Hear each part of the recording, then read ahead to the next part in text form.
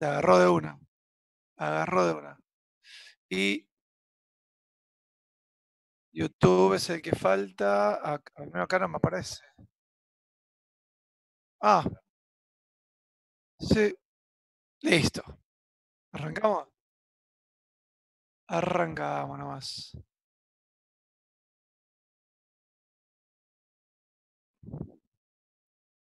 Todo funcione.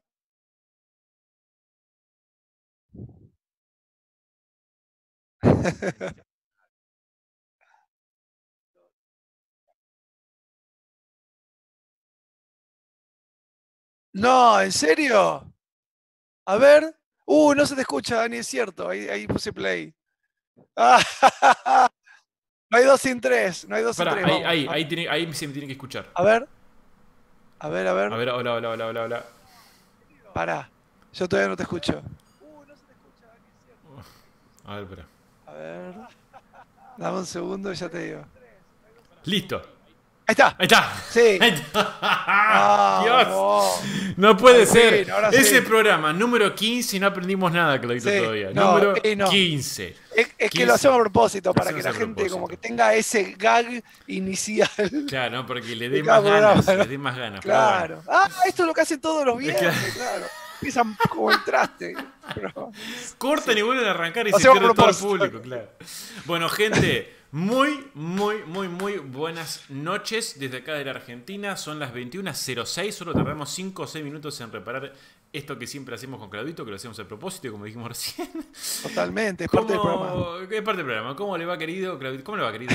¿Cómo le va? Muy bien, muy bien, muy bien. La verdad que un viernes espectacular, como siempre. Eh, cada vez que decimos que es un programón, es porque es un programa, un programa. No sé, no, no, claro. Es no es que uno dice, nada, bueno, hoy preparamos. Porque este programa tiene preparación, gente. Tiene reuniones previas, tiene mucho brainstorming.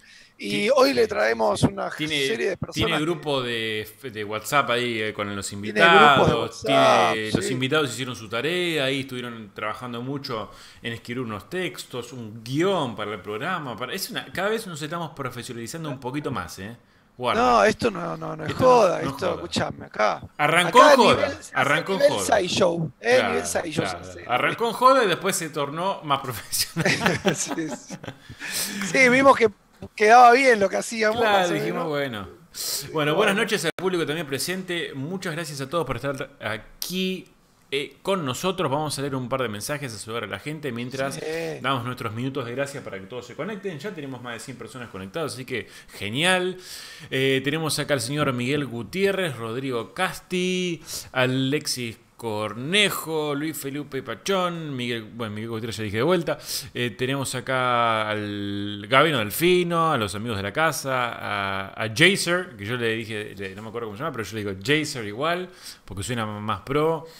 Eh, después tenemos a Javi, lo tenemos a Francisco, Darío, a William, tenemos a Mandonga, eh, alias. está, toda la banda. Está, toda la banda. Ya está toda la banda. Eh, alias. Mirá, Plácido, perdón que te interrumpa. No, Plácido Obama dice saludos desde Alemania.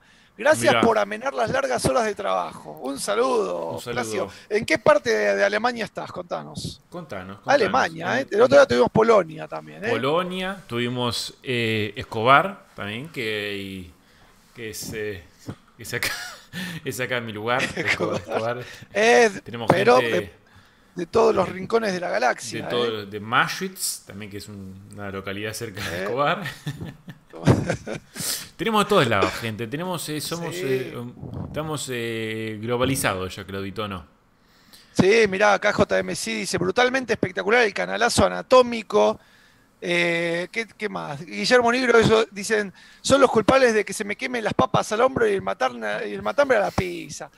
vos te, vos te, tenés problemas de desnutrición, me parece. Claro. Yo te diría que te alimentes mejor.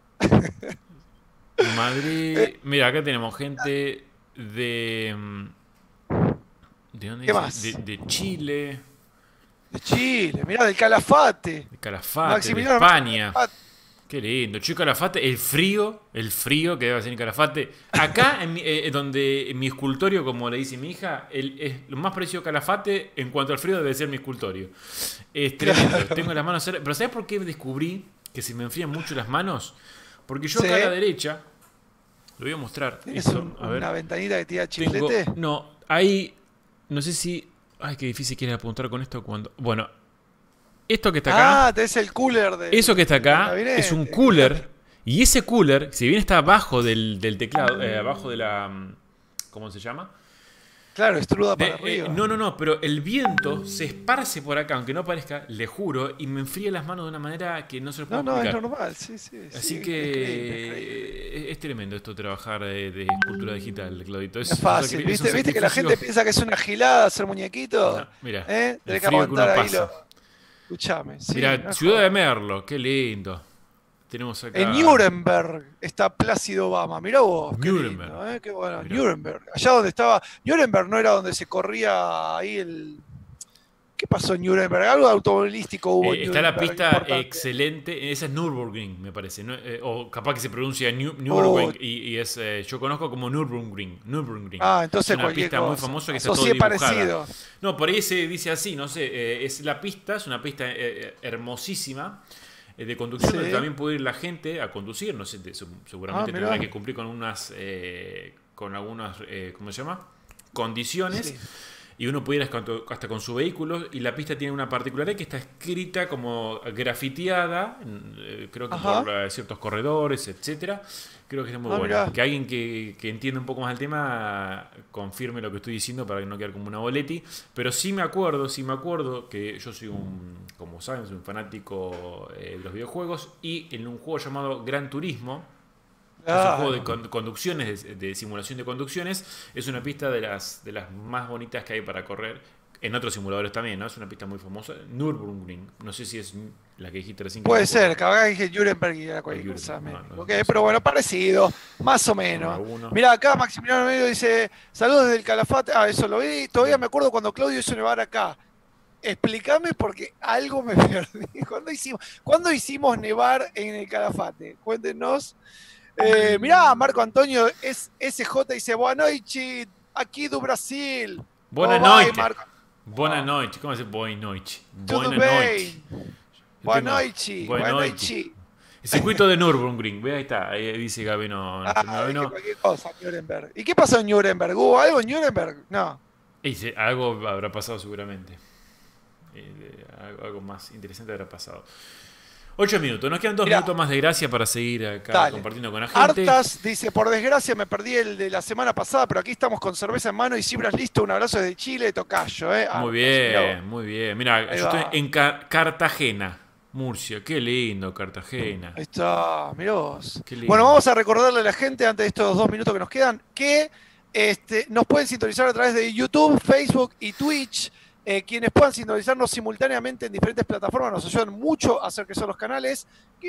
quienes no puedan, perdón, eh, nos ayudan más desde YouTube, que es eh, lo, importante para poder hacer que a mucha más gente les llegue estos contenidos. Y desde ya, si nos ponen like, si nos regalan su, su, like y sus suscripciones en YouTube y en Facebook, nos ayudan muchísimo a que los algoritmos de las redes sociales hagan que esto le llegue a más gente. También recuerden que está, bueno, el, YouTube de Dani Bell, es de, Dani es eh, youtube.com barra eh, Daniel Bell, o Daniel M. Bell, Daniel Bell o Daniel Daniel Bell, Daniel Bell. Daniel Bell, sí. Bueno, el mío es Claudio Abraham, youtube.com barra Claudio Abraham, si quieren. Me faltan 83 suscriptores para llegar a los 1000. Así que eh, podéis estar dentro de esos 1000 mirá qué, qué Muy bien, muy bien. Eh, por otro lado, nada, este canal no hubiera, mi canal no hubiera podido crecer si no es a través de, lo de Dani también y todo lo que hacemos juntos. Este, así que agradecidísimo desde ya por a todos. Favor, querido. Por favor. Un placer estar acá. Es, también, eh, opino exactamente lo mismo. Mucho de tu público vino para mi lado. El canal acá también sigue creciendo, eh, por lo cual le estoy muy agradecido a todos por compartir, por, por bueno, justamente por sumarse en cada, cada viernes muy, muy contento. Así que gracias a todos, amigos. Acá tenemos, mira, dice ah, dice, te salió una línea recta en tus dibujos y los comentarios decían, ah, listo, mañana se cae el cielo. Y acá amanecimos con 13 centímetros de nieve después de 4 años. Me acuerdo que fue que hice la línea recta y me sorprendí, me quedé, dije, wow, me salió una línea recta, nunca la vida me había pasado. Mirá, qué loco, ¿eh? Interesante. Muy loco. Las cosas que logran estos canales. La profecía, la profecía de, de, Che, acá saludos al amigo Kochi, que dice, Nuremberg hicieron los juicios de la Segunda Guerra. Bueno, le pifié total este, entre la ah, pista de auto y el, tratado, de la Segunda Guerra. El, tratado en el, en el tren, ¿no fue? No sé, pero bueno, ahí... En un tren. Algo había. En, un vagón que no estaba en funcionamiento, o cosas y tengo como un recuerdo.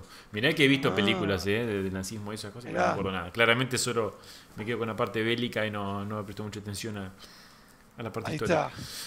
Eh, no, no, fueron los juicios de los alemanes. Ahí está, mirá vos. Acá, preguntan si no había un campo de concentración y esas cosas. Eh, eh, amigo Jazer dice: el Silver Surfer está genial. hoy, va a ser un poco tema de, de oh, qué, qué, día, ¿eh? ¡Qué semanita tuvimos! ¡Qué semanita que tuve! ¡Qué lunes tan hermoso que pasé esta semana! Gente con, con sus, con, con sus comentarios tan este, constructivos sobre todo. sobre todo los constructivos. Argumentados. Uh, no, no, una, delicia para, para, para mí Pero bueno. Pero ya dijimos que vamos a dejar de lado, ¿no, Dani? Habíamos dicho que esto de, las... Eh, ¿Cómo era esto de, del... ¿Qué hacíamos al principio? ¿Cómo, cómo le llamábamos? El... No sabes el nombre, che esto que decíamos, vamos a hacer un descargo. Ah, descargo. No, no, no. Creo que va a estar bueno. claro, va a, estar, bueno porque está bueno como, como para ver un lado, desde el lado del artista, cómo recibe el artista cuando le pasa esto, ¿no? Exactamente. Está bueno eso también. Así que un lado más humano esta vez. Exactamente, este, exactamente. Bueno, amigo, abrí el programa nomás contando todo lo que vamos a tener hoy. Bueno, esperen que voy a leer un comentario que me gustó acá que dice, que dice Adolfo Sepúlveda dice: Saludos muchachos, el 30 nació mi hijo, así que este mes me perdí casi todos los lives. Increíble lo que hacen. Un abrazo grande y gracias a Claudio. Le damos una cálida bienvenida al hijo de acá de Adolfo. Felicitaciones, amigos, y bienvenido a aquellos que no pueden dormir jamás en su vida luego después de que tienen un hijo. Eh, es lo más lindo del mundo, siempre lo voy a decir, eh, pero nunca más va a ser tu vida igual, al menos en lo que es sueño. Nunca vas a, no vas a poder dormir. Jamás vas a poder volver a dormir. Jamás. ¿eh? Y cuando tus hijas empiezan a dormir bien, no sé por qué te terminas despertando igual, cansado. Es una especie de cosa que viene con los hijos. Pero bueno, eh, simplemente, no, fuera de broma, realmente felicitaciones a vos, a la familia entera, a la mujer, todo, muchas, muchas felicitaciones. Y ahora sí, vamos a dar un comienzo, ya estamos 12 minutos, ya la gente acaba de llegar. Bueno, dale, contá, contá todo porque yo los voy contestando algunos ahí. Eh. Bueno, muy bueno. Como siempre, gente, eh, tengan preparadas sus preguntas rápidamente. Para los que no vieron el videito que saqué una horita antes de comenzar, hoy lo que vamos a hacer es, yo les mostré, el, creo que fue el viernes pasado, le mostré este bustito que había hecho para eh, Canal en el cual eh, básicamente mm, hice un par de cositas directamente sobre el modelo, como son estas liñitas. Ups, ahí, las liñitas, los ojos, voy a sacarle el color así se ve un poquito mejor. Eh, vamos a poner, ahí estamos, y voy a apagarle estas luces, que después vamos a ver si llegamos a tiempo, vemos un poco de lo de luces, pero es, lo de las luces es, es más lo que ya vimos eh, lo que ya hemos visto la clase pasada con el spawn. Eh, vamos a poner un material estándar, ahí perfecto, muy bien. Entonces tenemos, eh, hoy les voy a mostrar cómo es un poco el proceso que suelo, o que hice mejor dicho para esto, para sacar estas liñitas. Hay muchas maneras de hacerlo, yo les muestro por ahí la que es más rápida, por ahí no la más prolija, pero sí es una bastante rápida. lo mismo que los ojitos y también con la misma técnica hice esta arañita sería como el, el loguito y el pecho del amigo Miles. Eh, me voy a ir primero al modelo que yo tengo en como T-Pose, por así decirlo, que no es T-Pose, sino es el simétrico, para que esto sea mucho más fácil. Voy a apagar esta texturita que tengo acá. Mm, vamos a sacarla directamente, bien. Eh, y voy a desactivar esto y esto y lo otro. Bien. Esto básicamente es, lo mismo que ya hicimos un par de veces, una ferita. Empecé tipo a, ¿cómo se llama? Con el Move y con el Claytubes a empezar a darle forma. Eh, enmascaré el cuellito, con, invertí la máscara, tiré para abajo, Dynamesh, tiré para el costado, Dynamesh de vuelta para sacar los hombros y así. Después para tener este corte acá bastante prolijo, utilicé... Esperen que no sé si tengo si tengo subdivisiones, utilicé lo que sería el, em, Trim Curve que ahora lo vamos a ver de nuevo. Esperen que vamos a hacer lo siguiente. Voy a agarrar, voy a hacer un duplicado para explicar de nuevo esta herramienta. Voy a bajar la subvisión un poquito. Ahí. Y el Trim Curve sirve de esta manera. Básicamente nos va a dejar hacer una curvita. Cuando yo presiono Alt, fíjense que la curva, cuando yo mantengo el clic, eh, simplemente es una línea. La línea tiene una particularidad, es punteada, sombra para un lado, para el otro nada, nada, lo que significa que es lo que está sobre el lado de la sombra es lo que va a recortar. ¿sí? Entonces yo con Alt presiono una vez Alt y eh, hago, pongo como un nodo invisible que me va a generar una curva. Puedo hacerlo cuantas veces yo quiera. Entonces lo que hago, suelto y ahí va a cortar. Si no corta, pruébenlo de vuelta, porque a veces depende cómo agarra la geometría, es como termina cortando. Ah, perdón, está cortando. Lo que pasa que... Ahí, a ver. Listo, no está cortando. Se me retobó el... Se me retobó. Es lo que nos pasa, ¿no? este, muestra cómo puede fallar. Mostramos cómo puede fallar. Exactamente, si, no, no, si, no, no es real esto. Eh, bien, ahí hizo el, corte. Una cosa a tener en cuenta, el trim curve no funciona en simetría.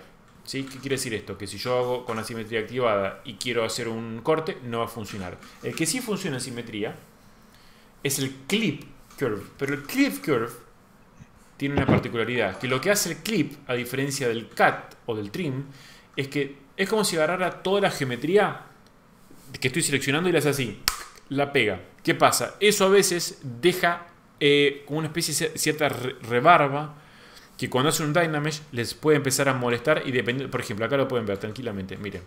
¿Ven este pedacito que está acá? Es esta rebarbita. No está bueno. Entonces tienen que usarlo eh, en ciertas ocasiones donde, donde saben que esta especie de colapsado de geometría no les va a generar esa, esa rebarba. Entonces, para evitar eso, el clip, perdón, el trim está mejor. Yo lo quiero cortar ahí lo va a hacer un solo lado, pero tengo la herramienta de el weld, perdón, del mirror, eh, que lo, voy a mirrorar para este lado y voy a hacer un mirror web y ahí lo hace. ¿sí? Tengan en cuenta que esta herramienta no funciona con subdivisiones.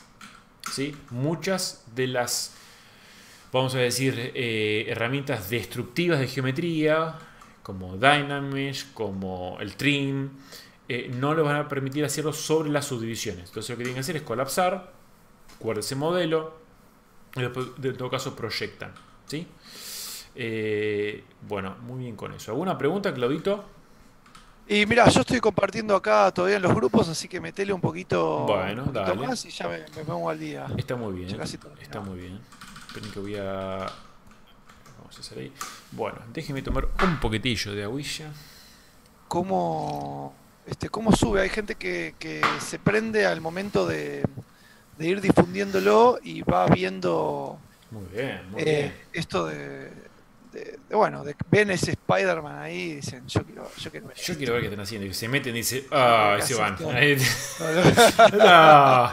Ah, no, era lo que, no era lo que esperaba. no era lo que esperaba, bueno, pero hasta el momento tenemos un público casi casi 300 personas, 280 personas conectadas. Sí, está subiendo muchísimo. Así que, ¿eh? amigos, un millón de gracias a todos los que están conectados. Gracias, muchas gracias, como decimos con Clau, porque esto eh, nosotros decimos a veces lo hacemos para ustedes, por supuesto lo hacemos para nosotros también porque lo súper disfrutamos. Para mí es un, es un, placer estar acá con Claudito y sobre todo invertir este tiempo para, a ver, de alguna manera mostrarles esto que hago. Al mismo tiempo yo aprendo porque practico con ustedes, es así.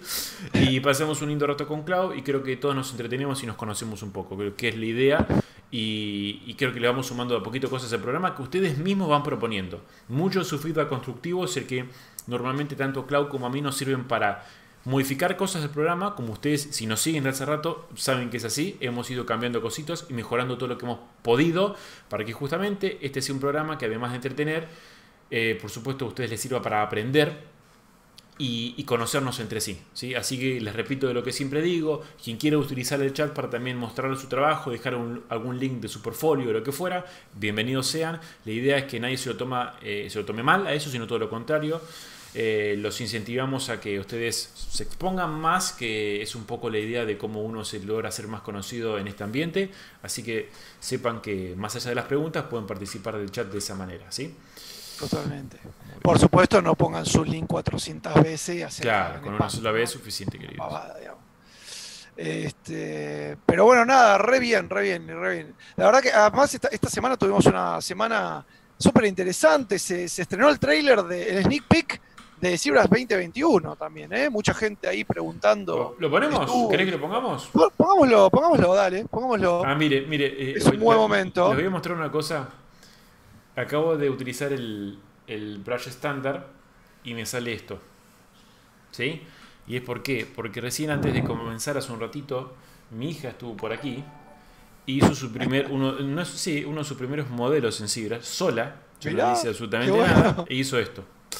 Hizo a ver. un gatito, a ver si no se lo pueden ver ahí, un gatito con pelo. Para que te no me aparece. Ahora les va a aparecer. Eh, un gatito, eh, esta es la carita, esta es la, la, la, boquita, los ojitos y, todo, y, todo, el pelito. Qué bueno, Así que guarda que ya la tengo entrenada. Ojo, eh. Y también atrás hizo una carita que es como una carita de un perrito que tiene las orejitas, el copito de arriba. eh, así que Se viene la empresa familiar, ¿eh? Guarda que ya la vamos entrenando, ¿eh? Guarda que la vamos entrenando de a poquito. No, no dormís, ¿viste? Pero, pero bueno, ya estás sin laburar, ¿eh? No, o sea... Mirá, esto ya va a traer resultados pronto. Esperen que voy a buscar el sneak peek acá del ZBrush y lo vamos a poner ya que estamos. Esto dale, es, dale, ahí seguimos. Eh, ZBrush 2021.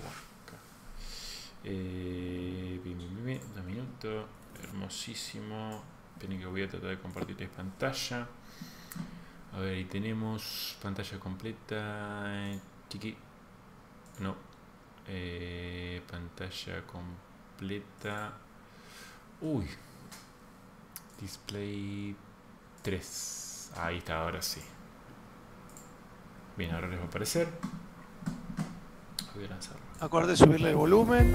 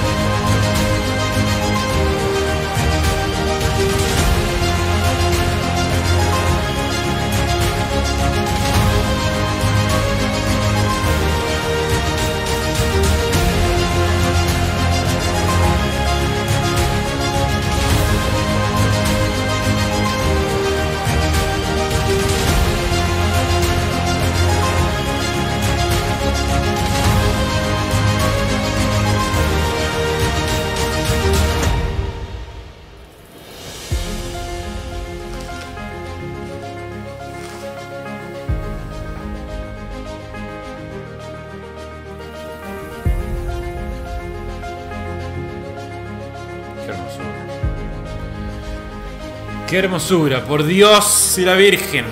Un aplauso virtual para esta gente de Pixelogy, la verdad los amo. Los amo. Los amo.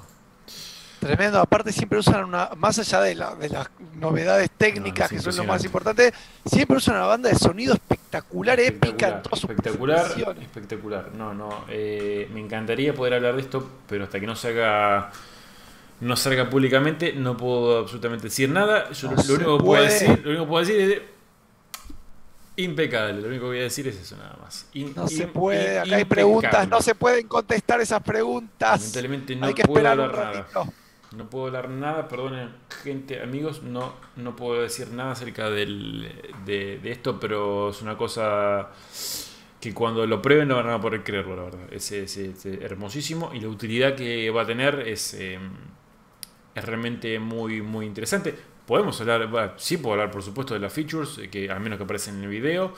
Eh, primero, el apartado de tela es excelente para aquellas personas que por ahí eh, no utilizan otros programas para simulación de tela. Está, está buenísimo.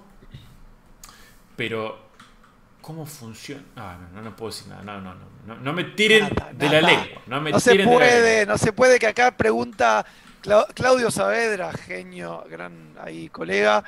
Eh, y, que tiene unas figuras espectaculares. Dice, las dinámicas de la tela en Cibra serán realmente útiles. Me refiero a que igualmente, como toda utilidad en sus inicios, quizá no esté lo suficientemente pulida. Pero bueno, como, como yo, te respondo que yo no tengo nada que ver. Yo voy a decir como una sola cosa. Voy a decir una sola cosa. Eh, eh, porque parezco, parezco fanboy, estoy buscando, estoy buscando las palabras. Estoy, sí, estoy buscando las palabras para no, no, no, decir nada. Pero. Excelente. Lo que voy a decir es eso. Es impresionante, voy a decir. Impresionante, voy a decir. Yo pensé lo mismo que no vos, Tiene, no tiene vicios. No tiene vicios, ¿eh? Impresionante. Impresionante. No sé lo que estoy haciendo, miren, estoy, estoy pensando en otra cosa. Sí, sí, lo tuyo. También tenemos el reto del Live Studios. No sé si lo querés anunciar al final o cómo venimos. bueno, si querés lo anunciamos al final, lo anunciamos. Eh, Dale.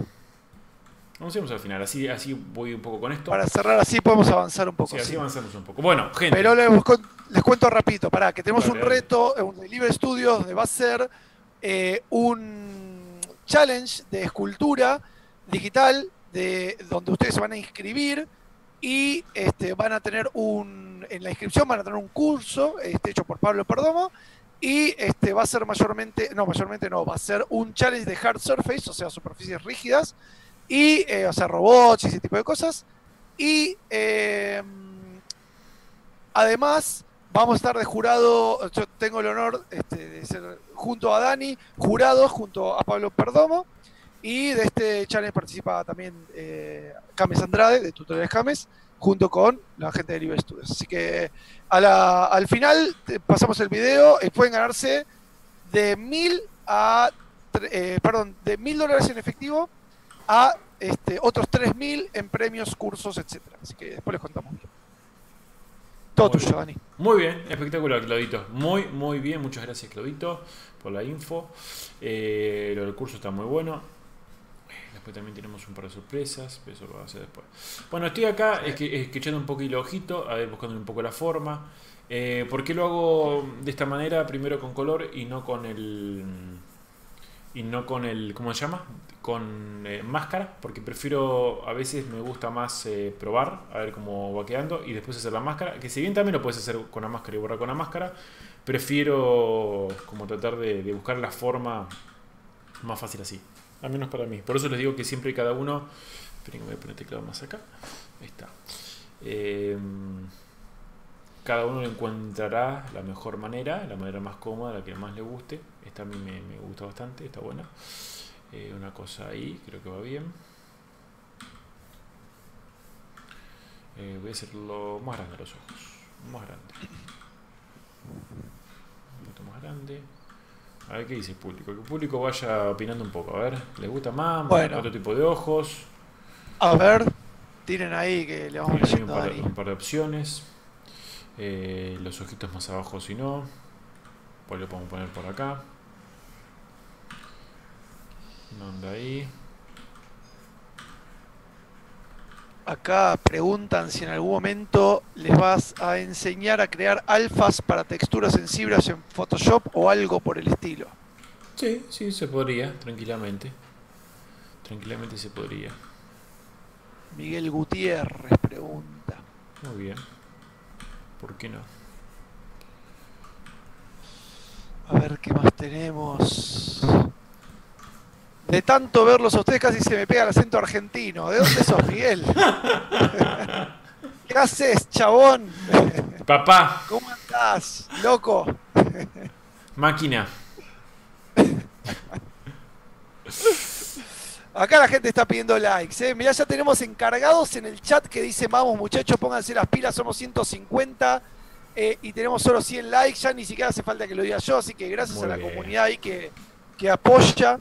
Muy bien, gracias, Este, gracias, gente. Valioso, ¿eh? Muy valioso. Valiosísimo. Más que valioso, valiosísimo. Mira, le vamos a responder una, a Christos Sculptor eh, muy rápida. Mi Mirror and Weld solo me funciona de izquierda a derecha. ¿Sabes cómo puedo hacerlo de derecha a izquierda? Sí, tendrás que ponerle Mirror y después el Mirror and Weld. Tiene una explicación eso. En realidad, ZBrush este, refleja todo lo que esté dentro del eje del, del centro del mundo de ZBrush. Y cuando vos modelás a la derecha, está fuera del eje de las tres liñitas que se te activan cuando tocas Flor. ¿Entendés? Entonces, si vos querés que te funcione y no querés hacer todo de nuevo, ponele mirror primero, después el mirror weld, si querés. Y si no, puedes usar el. Creo que la, creo que la herramienta de arriba sí, sí funciona, ¿no? La de Subtool Master, el mirror subtool, creo que sí funciona. Perdón, Fabián. un ¿Eh? poco. Sí, sí, sí funciona. Es que ese es un Deadpool. De- Estamos, estamos haciendo otro. Vamos con- dos por No, uno. no, perdón, dos por perdón. uno. Bien, eh, la pregunta era, Claudito, ¿el mirror qué? No, yo les explicaba que eh, no le funcionaba el mirror cuando la subtool está a la derecha Sí. del mundo. Entonces les dije que tiene que estar dentro del eje, para eso ponen mirror y después hacen el mirror and weld. El tema es que yo creo que si usan eh, el menú de subtool, mi- eh, subtool master mirror, No, ahí sí no importa de qué lado esté. Claro, no, ahí no importa. No, pero lo, lo más común, fíjense que yo acá en mi Wii, como dice Claudito, yo tengo acá, tengo mirror, y ahí te dice X, Y, Z, mirrorean, como yo hice recién hace un ratito con el cuerpito, que le corté acá, en realidad el mirror te lo hace de acá para allá, lo pasé para acá, y ahí sí hice mirror and well, y me hizo el, el mirror. Súper fácil. No sé Claro, si se- claro. El tema es que preguntaba que de, de derecha a izquierda no le funcionaba, de izquierda a derecha sí. Y bueno, Entonces le dije- claro, como Sí, dijiste. Claro, Tal, mirror. tal cual, tal cual dijiste, amigo. Pero el tema tiene que ver con el eje del centro del mundo de ZBrush, ¿sí? que está siempre a la izquierda del centro de la figura. Por eso tiene una explicación, digamos. Sí, sí, totalmente. Eh, ¿Qué más tenemos? A ver. Mm, Stroke, lazy mouse, lazy mouse. Bien, yo estoy, mientras tanto, voy. Eh, pues todo. Voy haciendo acá el ojito con el. ¿Cómo se llama? Con la mascarita. La mascarita. eh, no hace falta que sea recontra prolija, pero lo más prolijita que pueda ser, mejor. Hay cosas que después la van a prolijar a mano, como por ejemplo, fíjense que yo lo que hago es eh, pongo y después voy sacando. ¿Sí? O pongo un poquito y después saco.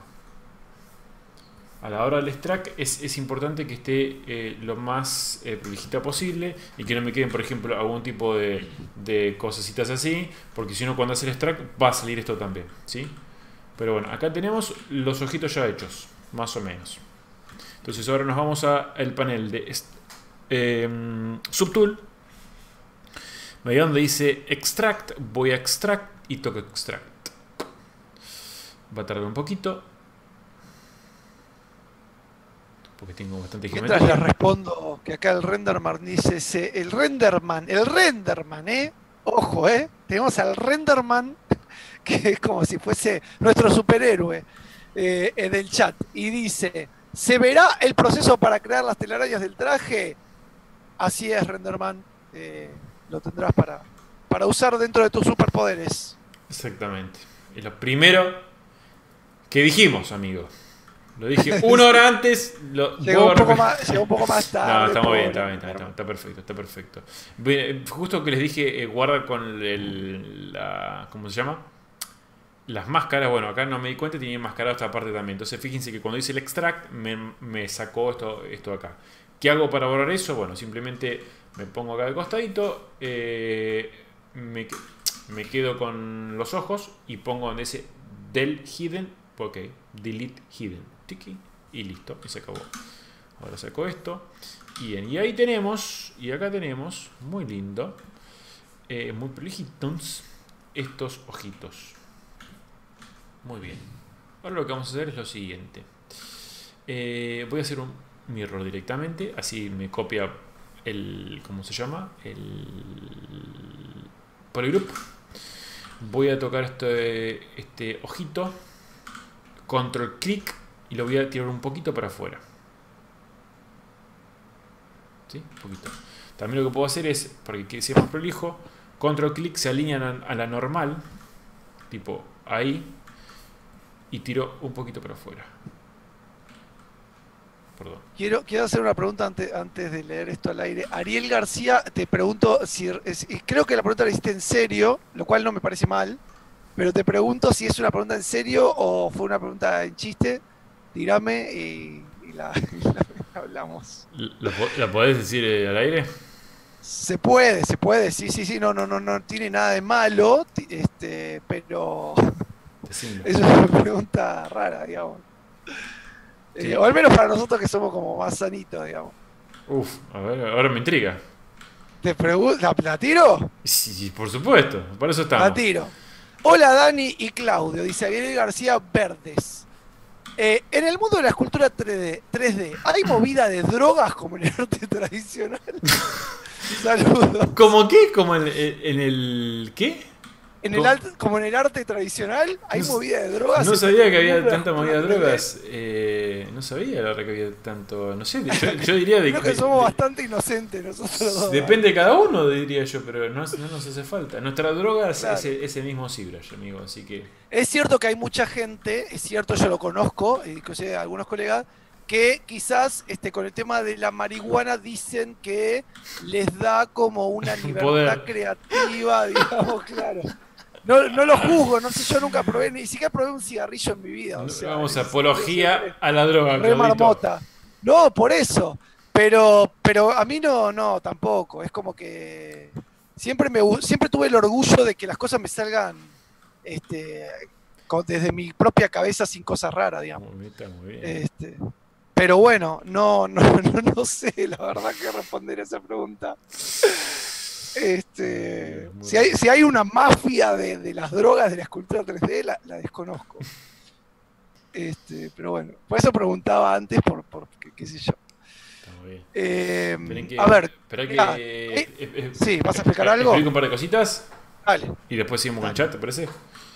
Sí, sí, tenemos tres preguntas que coinciden, por eso. Muy bien. Explico una y mientras hago esa, ya está, te dejo con eso. Mira, voy a elegir un smooth que yo se los mostré varias veces, que es el smooth normal. Voy a Lightbox, me voy a Brush, me voy a donde dice smooth, doble clic y voy a tocar aquí dice smooth group. Em, sí, smooth group, perdón, este. ¿Qué es lo que hace el smooth group?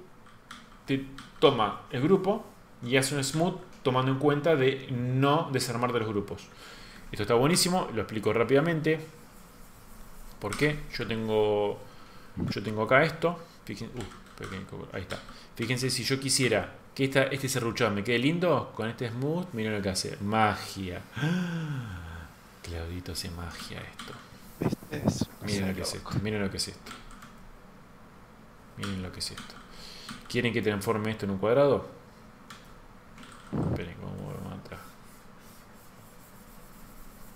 me, va a decir, pero porque no, quiero tener el stroke. Ahí está. Ahí. Bien. Miren, ¿eh? Ahí, ahí. Tenemos ahí. Apretamos el 1 un par de veces que se repite.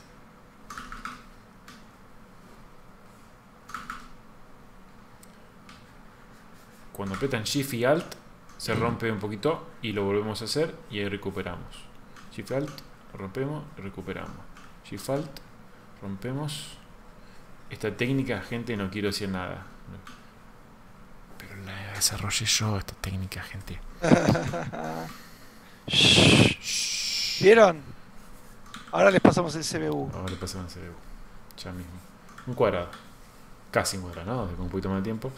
Eh, pero bueno, este está buenísimo el smooth este. Muy, muy bueno. Muy, muy útil. Voy a volver para atrás. ¿Cómo hacemos para generarle? Hay muchas maneras, pero yo encontré una manera rápida. Eh, no sé si es la mejor, pero es rápida, de poder hacer una especie de polygroup acá adentro para poder hacer esto, los, ojitos del, antifaz, por así decirlo. Lo que hago es lo siguiente. Yo acá tengo estos elementos. Primero, antes que nada, voy a tirar esta carita para adentro.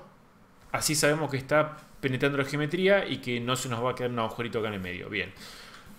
Luego lo que hago es control, control clic sobre esta, esta cara. Entonces me queda todo el resto eh, seleccionado y esto no. Voy a invertir la máscara con control clic fuera. Vamos de nuevo. Control clic ahí. Control clic invertido. Me eh, selecciona solamente esta. Y voy a hacer control clic sobre la geometría para que me haga un blur. Hago varias veces. Clic, clic, clic, clic, control clic, control clic, control clic. Y ahora hago control clic alt para que me, en vez de blurearla, me la sharpee, o sea, me la haga más dura. Fíjense que la hace más dura. Vuelvo a hacer control clic, control clic, control clic, más dura. voy y fíjense que se va achicando un poquito. Hay una manera de ir acá, a donde dice masking y hacer grow, qué sé yo. Pero esto es más rápido, para mí es lo mismo y es más rápido y más controlable. Eh, supongamos una cosa así, voy a seguir, sigo haciendo, porque cuando hay mucha geometría también se hace un poco más complicado hacer eso. ¿sí? Entonces supongamos que quiero, ahí está, ahí está perfecto. Miren, ahí tengo más o menos esto. Ahora voy a hacerle, eh, acá yo en mi Wii dice Edge Loop más Border. Lo tocamos y mágicamente tenemos esta partecita. Bien, recuerden que recién les dije esto del smooth. Bueno, con este brashecito lo podemos mejorar. Eh, y si queremos que esto quede un poco más parejo, yo utilizo un brush en particular que se llama, para, esto, para este caso, para estos casos, que se llama Nudge. Nudge. ¿Qué, ¿Qué es lo que hace? Bueno, eh, puedo mover, desplazarme sobre la misma geometría. ¿Qué, ¿Qué, pasa? Si yo me desplazo con el, con el, eh, con el move, fíjense que estoy como haciendo. Esperen voy a sacar el aquí curve. Eh, estoy haciendo como un movimiento de geometría que se nota, es medio destructivo. Sin embargo, el nudge, nudge va a desplazarla, pero sobre la misma geometría. Es como si yo estuviera haciendo con el dedo sobre la superficie así. ¿Sí? Entonces esto lo que me va a ayudar a mí es poder tirar un poquito esto sin que se me vaya a borde. Entonces fíjense, hay maneras un poquito más mecánicas de hacer esto, pero bueno, la, idea es em, aprender también otras herramientas, ¿no? Otros, otros, otros tipos de workflow. Fíjense que si yo quiero hacer la puntita, ahí ahí aprendimos, eh, aplicamos la estrategia, la estrategia, el comando este que yo les dije recién con el Smooth Groups. Bien, fíjense que ahí quedó bastante bien. Bien, ahí. Perfecto. Y ahora lo que puedo hacer es, toco este de acá, hago un Edge Loop. ¿Sí? Esto me va a crear un pequeño loop acá adentro o otra, sino que es más fácil, eh, que me va a crear a todo. Me voy a poner geometría, me voy donde dice, eh, acá donde dice Edge Loop, y donde dice Group Loop lo toco, pero antes de tocarlo lo bajo a 2. Bien, esa es mi, criatura descontrolada, que la escuchen de fondo. Eh, pero antes les voy a bajar el polish. Te voy a bajar un poquito de polish, tipo, no sé, a 10, pero vamos de nuevo. Ahí está, un poquito menos. Sí, a ver ahí. Está perfecto. Entonces ahora yo puedo seleccionar esto y lo tiro para adentro. Lo puedo también eh, poner en medio, lo escalo un poquito. Ups. Acá. Lo escalo un poquitito. Lo voy a tirar un poquito para afuera. Lo escalo un cachitín. Lo tiro otro poquito para afuera. Y fíjese que me hizo como esta, esta mascarita. Súper prolijita. Hay que corregir algunas cosas, obviamente, ¿no? Pero eso lo podemos hacer después. ¿Sí? Eh, por ejemplo, si yo quiero sacar un poco este borde, lo que hago es mover por acá, selecciono esto y le hago un smooth. O bien puedo ir a panel de deformation y hacer un by features. By features, ahí. Te tiro una rápida pregunta a Osvaldo Asmaguer si el pincel nudge es útil para el hard surface. Eh, y lo que estamos haciendo nosotros es hard surface ahora, hard surface ahora. Así que sí. Justamente esto es hard surface. Así que sí, la respuesta es sí. Eh, bueno, acá no me dio mucha bolilla con lo de deformation porque el tipo de geometría que tiene está triangulada, entonces me va a hacer cualquier banana, cualquier cosa. Eh, pero bueno, vamos ahora a pasar. Hay que mejorar algunas cositas, hay que prolijar, pero más o menos eso es un poco la técnica esta como para sacar los ojitos de acá. Fíjense que también lo que podemos hacer es, no sé, selecciono esto. Mira. Che, Claudio Saavedra Ven que siempre hay lugar para aprender. Para mí, Claudio Saavedra es un escultor increíble. Muy bueno. Este, que hace unas figuras espectaculares. Y dice, pero ¿qué dato te acabas de sacar, Dani? ¿No conocía el Smooth Groups o el Natch? Así que imagínate si hace todo eso sin esos dos pinceles. Es el pincel y el coso. Sí, sí, sí, no, no, no. Eh, alto también. Poné tu portfolio, Claudito, así. También se llama Claudito, a, a, saber, le digo. Así, así, lo, saber, sí, sí. Así, lo, así lo veo. Fíjense que ahí lo que hice, leí como esta especie de sensación ahí de, ojito más medio de mosca. No quedan muy buenos, pero al menos sepan que también lo pueden hacer. Prefiero, prefiero dejarlo así. Bueno, y ahora vamos a pasar, antes, porque ya son las 10, casi las 10 de la noche voy a mostrarles un poco cómo hacer lo de las liñitas, que es eh, una de las cosas que por ahí más preguntaron. Eh, lo de las liñitas para no... Hay varias maneras de hacerlo. Eh, yo les voy a mostrar la que yo hice con el Miles Morales, con la figurita, con, con, el busto que recién les mostré. lo que primero les recomiendo, antes de empezar a hacerlo, es que ya tengan más o menos como una idea de cómo es el patrón de estas telas, porque lo que les va a pasar es, lo van a empezar, tipo van a decir, ah, bueno, voy a ver la referencia, una así, una, eh, perdón, una ahí, una ahí, pero me cacho, eh, esperen, eh, una así, no sé, eh, hago la otra así, y esto yo lo empiezo a unir, buenísimo, ponerle una cosa así, y van a ver que en un momento no le cierra a ningún lado, no van para acá, entonces lo que yo les recomiendo es primero dibújenla, como yo hice con los ojos, así, no, no, tiene que ser, de hecho no tiene que ser nada, supongamos, ponen ahí, ponen un color. Si la dibujan, eh, traten, traten, de hacerlo luego con un... También te voy a poner un color. Ah, esperen que voy a hacer otra cosita que está buena. Eh, así yo lo hago con los ojos. Eh, los ojos. bordecito rojo, la parte de adentro, de adentro y vamos a poner un material. Para que también veamos materiales. Es acá le voy a poner un edge loop, perfecto. Este vamos a ponerle un blanco, vamos a poner un grisecito, vamos a activar material RGB, que me va a poner material y el color, voy a ir a Toy Plastic, eh, porque, uh, sé otro material, esperen que, ¿cómo hago para materiales? ¿Hay manera de modificar todos los materiales de una? No. Eh, a ver si tengo el plástico de una. Eh, no. Bueno, no importa, voy, a usar otro. Eh, déjenme usar, por ejemplo, el, el jelly. ¿Dónde está el jelly? jelly, jelly, jelly, jelly, jelly. Eh, ¿Por qué no lo veo? Por Dios. Listo. No estoy viendo el que quiero. ¿No está? Está el que se llama Bueno. ¿Cuál, Dani? Uno que se llama Shelly, ¿por qué no lo veo?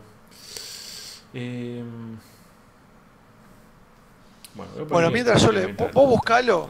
¿O vas a seguir no, no, para que siga explicando, pero un segundo que sigo explicando. Ah, listo, Ahí ponemos este y ahora le pongo ese rojo, elijo otro material y elijo, por ejemplo, no sé, el estándar.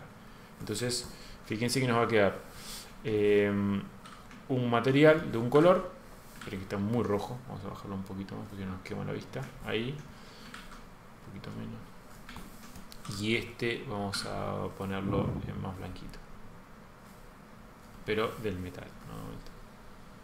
Ahí está, un poquito más. Ahí. Entonces ahí ya nos quedó con dos materialcitos. Fíjense que uno refleja más que el otro.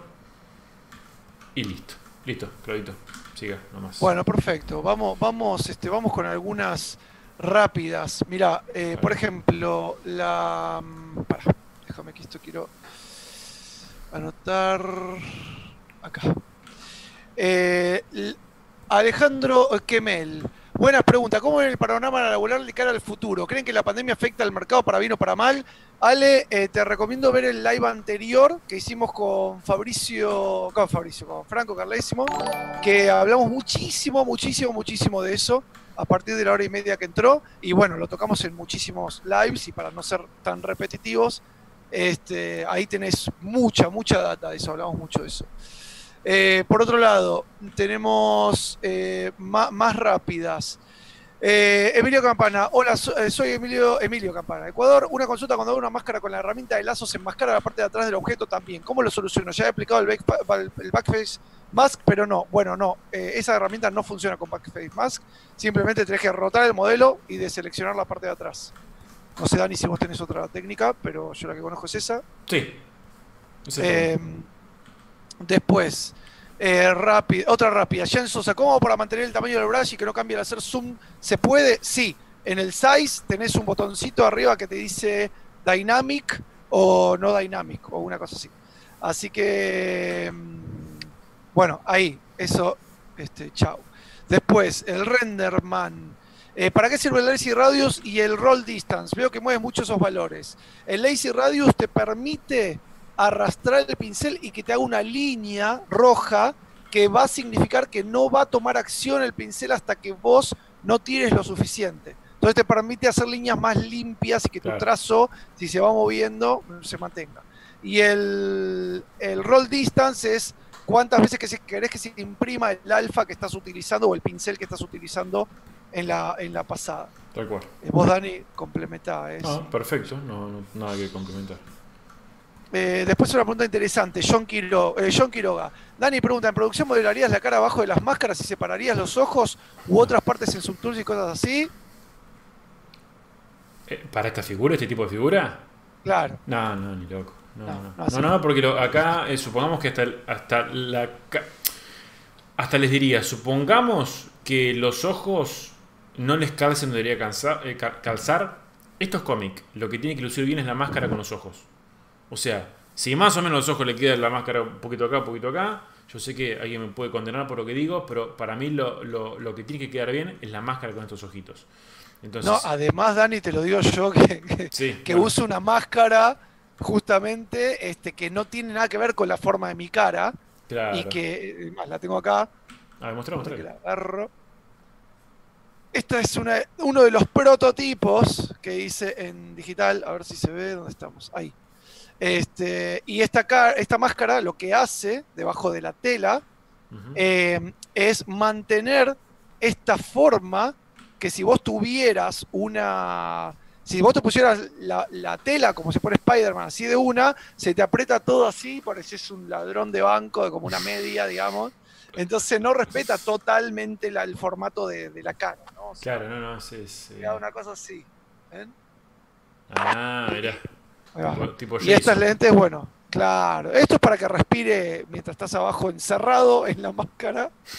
Y esto va a la tela y después las lentes este, que son con imanes van arriba de la tela y te, te dejan la forma ahí de la...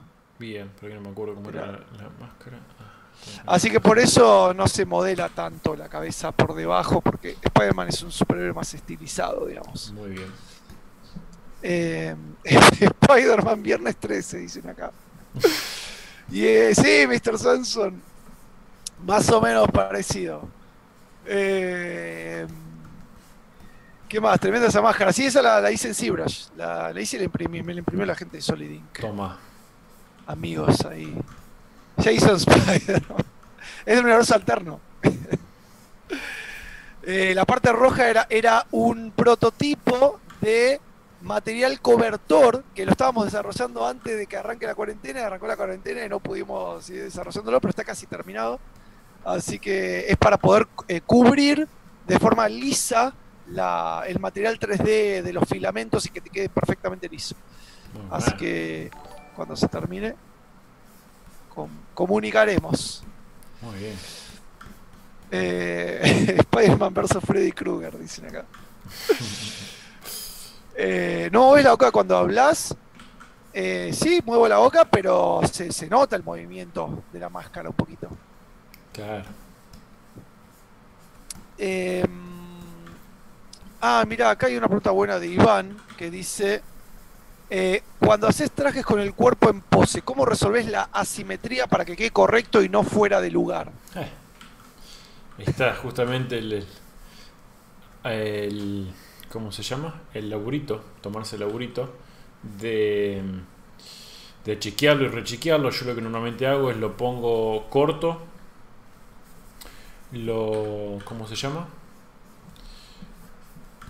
Eh, por ejemplo, si lo tengo en pose y la pose es muy distinta, corto una parte del cuerpo, mirror, lo pongo a esa parte que está bien del traje sobre el otro lado y trato de copiarlo con esa referencia. Esa es la mejor forma que yo encontré.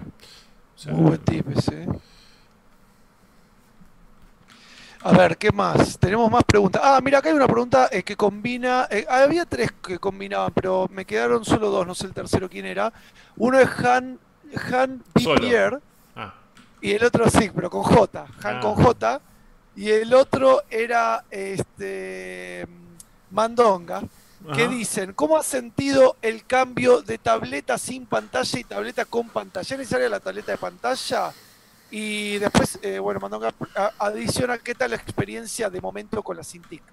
La verdad que genial. O sea, me vine acostumbrando re bien, pero por una cuestión de que me parece que lo que me ayudó muchísimo fue el tener estos, eh, estos elevadores personalizados que me hice con, mi viejo.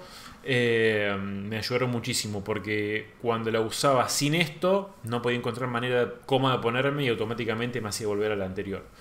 y creo que lo que tiene ventaja esto que está bueno es que es mucho más natural el hecho de poder hacer este tipo de cosas, justamente de trabajar sobre la pantalla, de poder posicionar por ahí tu brazo de una manera que con la tableta tenés que rotar la tableta. Entonces, eh, a mí me, la verdad que me viene gustando mucho, me gusta mucho. Hay comentarios que son, son tremendos. ¿Cómo se les ocurren estas cosas? Acá Diego Pedro dice que también podría usar la máscara para colar los fideos. También, está bien. Eh, Te cuento que por una causa no puedo. Es que la temperatura de fusión del plástico es bastante baja. Si le tiro volviendo, se doblaría todo ese fierro. Pero muy bueno, muy bueno. Bien. Eh... Claro, salís con esa máscara en lugar de barbijo, uy, ¿sabes la cantidad de veces? Yo como Spider-Man nunca, nunca hubiera necesitado, digamos, este barbijo. Tengo la lycra, tengo todo. Claro, escúchame. Puedo estar cerca de cualquiera. Eh, bueno, muy bueno el tip que tiraste, Dani, de cortar el cuerpo ahí, ir poniendo las partes, ¿eh? Sí, eso a mí me, me super sirve. Sí, me, me ha servido muchísimo. Este, acá ese Politano, el amigo que se conectó, decía alta remera. Eh, ¿Qué más? Tenés, Damián, Teixeira, esta, la de Dragon Ball. bien, bien esta. Yo te veo con una campera, me equivoco. No, ahora Sí, tengo una campera, pero tengo muy frío. Pero Ahora, ahora vas a ver. Ahora, a ver. Bueno, no te pongas celoso tampoco. Yo sé que tu canal. Eh, me digan algo sobre mi remera. Qué, lindo Joker, eh, qué lindo Joker. ahora sí, Bueno, esto no sé si es así, esta eh, parte de atrás, pero no importa. La, idea eh, es, que más o menos se den una idea de cómo, cómo es el, proceso. Acá Matías ya que Vicious dice texturizar en Cibra, sí. Ya te lo respondo, sí. Totalmente. Dani hace todo en Cibras. Todo en Cibras.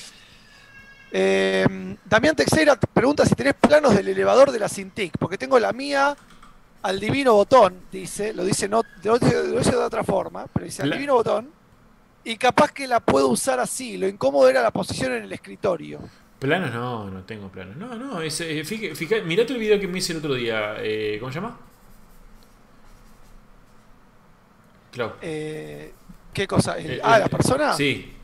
Ah, pensé que, no sé, me fui.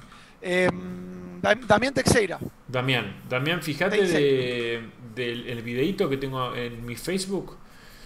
que hace unos días que lo hice justo con mi viejo, agarré unas maderas, ahí nomás, y lo hice, hablé un poco acerca de las dimensiones, súper simple. Eh, así que te recomiendo que lo intentes, que lo pruebes, porque la verdad que está, está a mí me cambió, me cambió muchísimo. Y tener una CT y no usarla es como medio el cohete. Sí, es una lástima. eh, siempre, siempre se la puedes donar al empleado de Danivel. ¿eh? También, también. Eh, a ese que lee los mensajes. Edwin, Díaz dice, bueno, Daniel, dando, dando una vuelta para saludar, me encantan me encantan las estatuas, pero mucho más me encanta la del Silver Surfer. Qué bueno. Qué bueno, capo, querido. Muchas Gran figura, a mí me, gustó mucho sacando el fanatismo. Ahora en un ratito vamos a hablar de eso. pero me parece que tiene muchas cosas súper interesantes la figura. Muchas gracias. Este, ¿Qué más? A ver. Eh, dejame un cachito que muestro lo que voy a hacer acá y ah, ya, ya, te dejo. No, no, no, seguí, seguimos, por supuesto. Mira. Lo que voy a hacer. ahora tengo como esta especie de sketch. ¿Qué me sirve esto? Como para darme una idea de dónde tengo que ir. Si lo hace muy prolijito, pueden usar el mismo color para justamente tirar la línea. Si lo hacen desprolijo como yo, no les sirven absolutamente de nada más que como referencia. ¿sí? Entonces lo que yo hago ahora es, de la manera más prolija que pueda, trato de agarrar y, empezar a eh, tirar estas líneas con máscara. Empezar a enmascarar.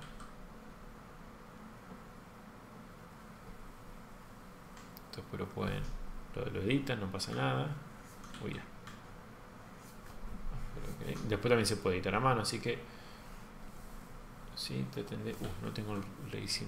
Pero un cochito que activo. Ahí está. Tenemos ahí, no tanto.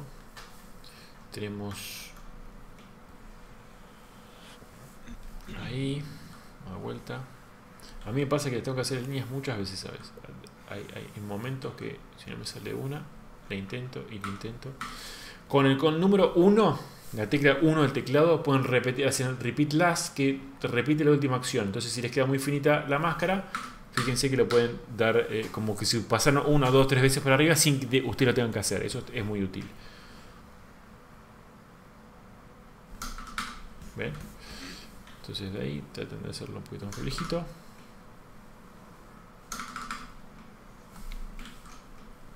Supongamos.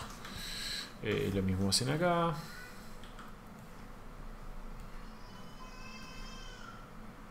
Bien.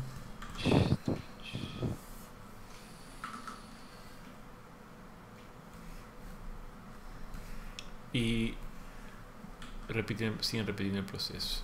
Si quieres, Claudito, decime eh, mientras yo termino un poquito esto. Sí, hay una pregunta acá interesante que dice, eh, para dónde está, eh, hay muchas, hay muchas preguntas piolas antes de arrancar con. Mira, eh, para hacer, ahora que vas a hacer la telaraña, para impresión 3D, ¿Recomendás hacerla para que salga para afuera o que sea negativo hacia adentro? Incluso al pitarla para producción, ¿qué crees que es más conveniente? Y ya te respondo antes que te diga Dani, para adentro es más conveniente para producción, pero Dani, complementa.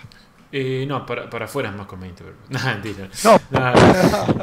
No, no, eh, para, adentro sí es más conveniente porque es más fácil para pintar. Eh, pero para afuera. claro, pero para afuera queda mucho más lindo. Toda la vida. es un poquito más trabajoso, pero queda mucho más lindo. Y te da, te da, además te da en la figura un montón de texturas y relieves que no, que no, que no tienen volúmenes, ¿no? O sea, que hace mucho más rica la figura. Totalmente. Eh, bueno, ¿qué más? Eh, a ver, ¿qué más tenemos? Tenemos un montón de preguntas. Eh, David Agüero, buenas Claudio y Dani. Estoy empezando en Cibras y tengo mil preguntas. Bueno, ya te recomiendo. Mirate todos los videos. El live número uno de Dani. Claro. El live número uno hasta el 15 que es hoy. Te vas a tener para información para tirar para arriba. Y le sumate, sumate los martes de Dani Challenge, también tenés otros más. Y los videos de Clau, otro montón más. Pero bueno, pero hay tarea para hacer, ¿eh? claro, hay tarea. ¿Podrías decirme si usan algunos eh, atajos de teclado que sirvan desde el principio? Un saludo. Bueno, es eh, sí, de nuevo, este, hay mucha, mucha. Acabo de decir uno, por ejemplo. Acabo de decir lo del 1, que te hace el repeat last. Claro. Pero atajos de teclado depende de lo que quieres hacer. Lo que más vas a usar son las, las combinaciones entre control, control alt y control shift. Esas, esas, y, la barra espaciadora. Esas, esas combinaciones te, te, van a dar todo prácticamente. Sí, yo la barra espaciadora no. Y con control W. por ejemplo. Lo loco es que yo la barra espaciadora nunca lo usé. ¿No? ah, mira, yo lo uso todo el tiempo. Sí, sí, yo sé que está buena, pero no, no yo no, no, me acostumbro a usarla. En realidad, cuando yo te vi usar la S para el size, por ejemplo, la S para el size, control W para crear polygroups, eh, pero cuando te vi usar la S dije, qué simple, ¿no? Todo transparente. Yo abro la barra espaciadora y tengo un montón de cosas que no voy a necesitar nunca, nunca las uso desde la barra espaciadora. Pero es como que me da esa cosa de, de, ver que habría algo. La S es como tan chiquitita que se me pierde, digamos, ¿viste? Sí, es una cuestión psicológica, digamos. Sí, psicológico, sí. Em, a ver, tenemos. Eh, tenemos más preguntas. ¿Con Lazy Mouse ese proceso de máscara es complicado? Eh, no, lo hace más sencillo, de hecho. claro. porque justamente no, es mano alzada. Tienes la posibilidad de agregarle eh, una especie de, de trazo más firme mientras más eh, lazy radios le pones, más redondito te va a salir el trazo, ¿no? Obviamente hay mucha práctica. Acá hay, que, hay que. También gente tiene en cuenta eso. Eh, lleva su tiempo de práctica.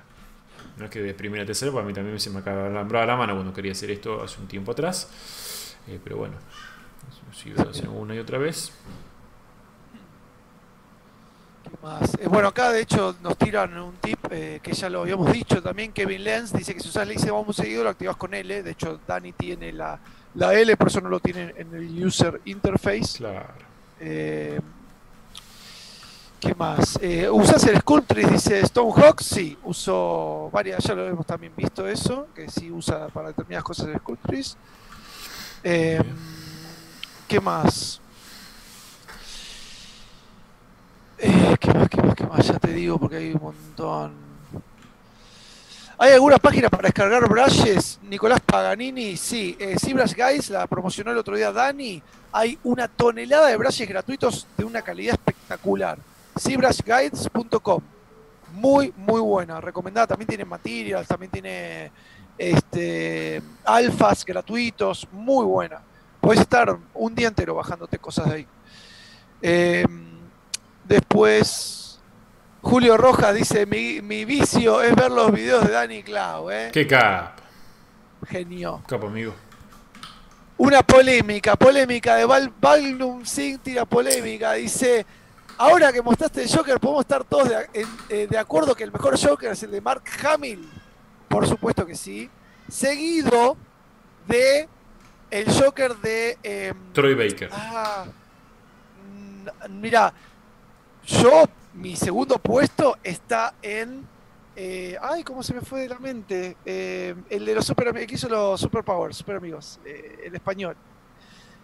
Ah, se me fue. ¿Cómo era? No sé qué metes o no, creo. Sí, el, el, Joker dibujado de. Uh, clavo el micrófono. Me parece que me puse el micrófono muy cerca o muy lejos. Em, ah, no me sale el nombre, se me fue. El que dibujaba, ustedes saben, ¿no? Deja de escupir el pH, el micrófono. Uy, sí, es que te voy a poner un filtro al micrófono. Me, toma mucho el, viento. Eh, no sé, sí hace. Le tengo que comprar un nuevo Cloud, sí. Sí, este, acá acérquenle unos lentes porque no leen nuestros comentarios. Estoy leyendo todo, tengo otra vez, tengo seis páginas de Word. ¿Qué comentarios me perdí? Son terribles, ¿eh? Que traten bien a eh, Cloud, si nos, va, si nos va a ir un día el programa y lo, van a extrañar después. ¿eh? Encima uno, uno, de la casa, ¿eh? César Alonso. No, igual, igual, fue con otra. César. César Alonso, mirá que te sacamos tarjeta amarilla al toque. Hay tabla, ¿eh? Mirá que tabla, amarilla, roja. Este, che, ¿cómo, es, cómo, ¿cómo se me fue el nombre de este hombre? Ah, pará, ya te lo busco. Es súper conocido, cuando te lo diga lo vas a, vas a saber a quién me refiero. Federico Lupi. Eh, Superpowers, no. Powers, dibujante español. Dibujante español. Bueno, mientras vos te fijas, le, muestro a la gente cómo pueden hacer esto de. José Luis García López. Ah, soy José Luis García López, sí, sí. Para mí el segundo Joker mejor es el de José Luis García López. Bien. Este, hablando de dibujitos, estamos hablando. Sí, sí, sí. Bueno, miren, si invierten la máscara, ponen un layer y ponen, no sé, qué sé yo, tipo menos algo, menos 10, poquito más. Eh, un menos 20. Perfecto. Tienen eh, el invertido. Entonces tienen la posibilidad de hacer como este que les decía Clau. Obviamente la máscara hay que tratar de, de. Si la suavizan fueron. Pero sí pueden hacerlo con un polygroup y lo van suavizando el polygroup y prolijando el polygroup. Es una manera muy fácil de hacerlo como para adentro. Ahora, si la quieren sacar para afuera, también tiene la posibilidad de ese mismo layer que pusieron, lo ponen en negativo y sale para afuera. ¿Sí? O sea, tener un layer tiene esa posibilidad. Cuando la máscara está eh, bastante prolijita, lo pueden hacer. Ahora, yo lo que hago para tener mucho más control es en vez de hacer eso, vamos para atrás, eh, lo que hago es subtool, extract y lo extraigo. Va a tardar un poquito. Ahí está. Ponemos aceptar. Ponemos OK. Y tenemos la mascarita.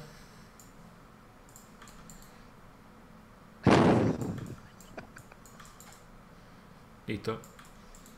Contalo si nos reímos todo. Tenía acá. Yo, no tiene oídos porque en mi, mi, micrófono no filtra la. Le tengo que poner una goma espuma a esto. Porque la verdad que tiene muy buena calidad el micrófono, creo. O al menos se escucha bien, es un Corsair. Pero, pero no, no, me filtra los. Espera que se me esté retobando. Y además tengo la manía de tocar, como este es un micrófono que se mueve para todos lados, tengo la manía de estar toqueteando el micrófono todo el tiempo. Bien. Eh, justo ahí lo voy a borrar, perdón. Y, acá lo que pueden hacer es básicamente jugar con los parámetros de... de Buenísimo. Pueden suavizar acá con el, con el smooth.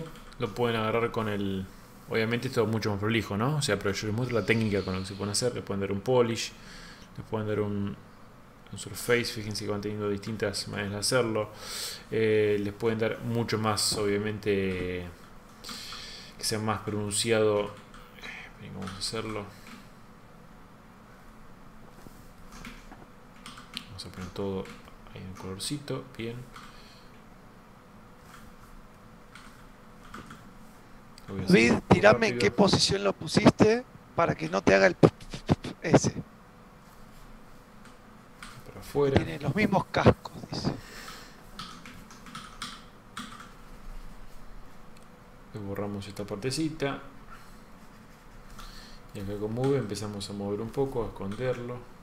Abajo los ojitos, qué sé yo. Ahí.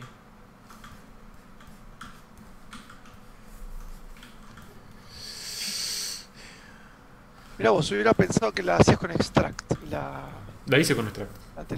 Ah, ah, Listo, se perdió todo. No. Por estar hablando de los, del micrófono. por estar hablando del micrófono. Acá viene, no, no, no. Tengo un comentario de. ¿Cómo se llama? Vamos prendiendo fuego. Eh, se llama eh, Horus 3D. Que dice: Pues yo he comentado como 10 veces y no los ve. Yo no tengo tres pantallas. Porque algunos comentarios me aparecen en YouTube. Yo principal tengo YouTube. Pero me aparecen cortados los comentarios largos. Entonces tengo que ir a Facebook a scrollear en Facebook, encontrar el comentario, copiarlo, pegarlo, y lo mismo pasa con Twitch. Entonces, eh, y además de esas tres pantallas, tengo todo el otro monitor con el Word. Entonces, es muy difícil seguir. Ténganle paciencia, Clav. Pobre Clav. Ustedes se piensa que es difícil hacer esa telaraña, no, escuchame, difícil es, llevar los comentarios del live. comentarios y que, y que, no te digan nada. Ah, encima va a salir invicto, porque siempre, siempre te la pegan. Siempre te la pegan. Eh, a ver qué más dice. Acá preguntan, Edwin Campos, te, vamos a responder porque hace muchos live que no se pregunta esto, pero era una pregunta típica. Decía, ¿qué tableta recomiendan? Este, ya te digo una Cintiq de 48 pulgadas. no, este, en realidad eh, eh, bueno, lo respondimos tantas veces. Nosotros principalmente eh, Wacom Tubos Pro de este, M, tamaño M. Después también mucha gente dijo que las otras marcas como Huion y este XP, XP Pen Pro, algo no sé qué, también tienen los tope de gama de esas marcas son mucho más económicos y tienen un excelente rendimiento.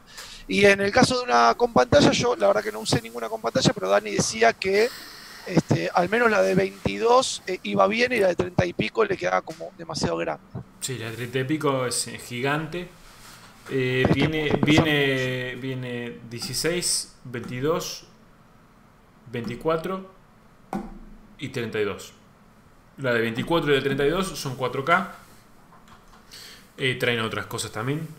traen otro tipo de, de, pantalla, eh, traen como una especie de, de filmina anti-glare, qué sé yo, y la de 22, la de 16, la de 22 y la de 13 son Full HD, nada más.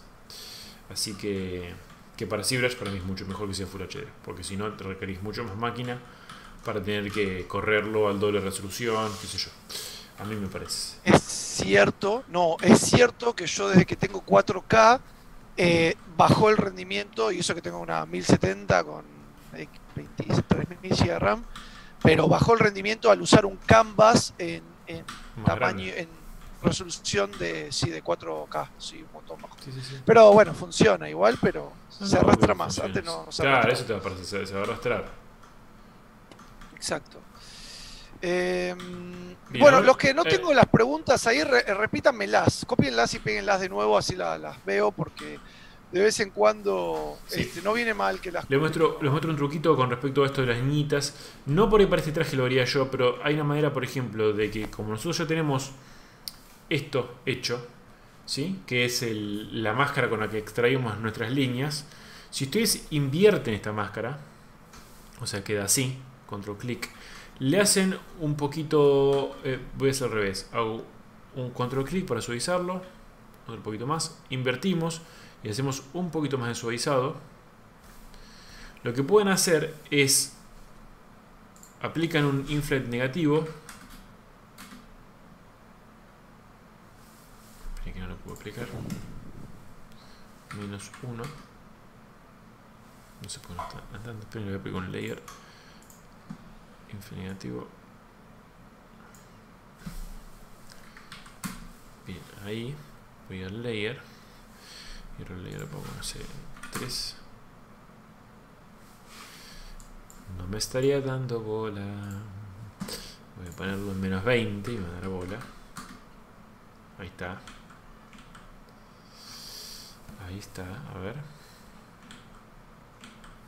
Ah, perdón, perdón, estaba haciendo todo al revés. Vamos de vuelta, menos 20. Está haciendo algo raro esto para variar, obviamente, tiene algo... las cosas no pueden andar siempre bien. ¿Por qué me hace esto? No importa, voy a suavizar. Voy a suavizarlo. Mientras vos te fijas, hay varios que están preguntando si el torso estuviera en posición asimétrica sería igual. Bienvenidos a los que llegaron tarde, siempre bienvenidos. Lo respondimos, lo que hace Dani es eh, hacer una mitad y la otra parte como que va copiando las partes del cuerpo que funcionan de acuerdo a cada sector del, cuerpo y las, superpone y las va arreglando y las, y las ubica. Exacto. Fíjense que ahora lo que. Eh, para este, para, para mí, para Spider-Man, no funcionaría esto. A mí no me gusta cómo queda, prefiero que quede la línea más pegada sobre el traje. Pero lo que se puede hacer que esté interesante. Esperen que voy a darle un poquito de profundidad a esto. Así no se nota bueno, para adentro luego escalamos ahí bien aquí también voy a meter por acá adentro. Eh, fíjense que lo que hice con el traje es como que se le da como, como si tuviera como una tensión para así decirlo ¿no? no sé si ahí lo pueden ver. Como que si yo estuviera el traje tensionando, estuviera apretando y le deformo un poquito, el traje si lo queda como una especie de vampcito en vez de voy a poner un poquito de brillo acá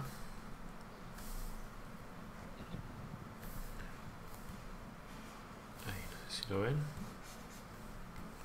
Es algo que es interesante. Yo lo uso mucho esto para algunos trajes y cosas así. Que suelo hacer si lo uso. Ven que tiene como una especie de... Y mientras más lo suavizan, obviamente esa sensación es un poquito más... La transición es un poquito más suave también. Onda... Tipo un jamón. Bien. Ahí alejé un poco el micrófono, los que me pidieron. Eh, voy a, tratar de, voy a tratar de hacer una prueba de sonido la próxima para ver cómo hago para arreglar este micrófono que, tiene estos soplidos y estas cosas que, molestan, lo entiendo. Muy bien. Bueno, querido, vamos a hacer una cosa, pues son casi y media. Ya nuestros invitados tienen que entrar. Total. Eh, voy a referirme cinco minutos muy rápido a que no sé por qué no lo hice antes, no me di cuenta, acerca de una cosa que pasó particularmente el lunes, que es un tema que se los voy a dejar y que me gustaría que luego... Eh, me gustaría, en realidad, invitar a Nati de vuelta, para los que lo conocen o no que vieron el programa. Nati es psicóloga, ella estuvo en nuestro programa hace dos o tres programas atrás y hablamos acerca del control de las emociones referido obviamente al, al, artista, a cómo hacemos cuando no sé, nos enfrentamos con alguna situación especial que o no nos deja trabajar o, nos permite o hace que nuestro trabajo sea un poquito más difícil, nuestro día a día, esa rutina que tenemos o que a veces no tenemos. Eh, estuvo muy interesante, les recomiendo que lo vean y la verdad que este es un tema que me gustaría hablarlo con Nati y lo vamos a invitar para un programa más adelante porque creo que es algo que suele pasar mucho eh, y en lo particular es algo que a mí me pasó justamente esta semana, les cuento súper super rápido lo que fue, así no quitamos tiempo a, a, y a Dieguito que van a venir ahora.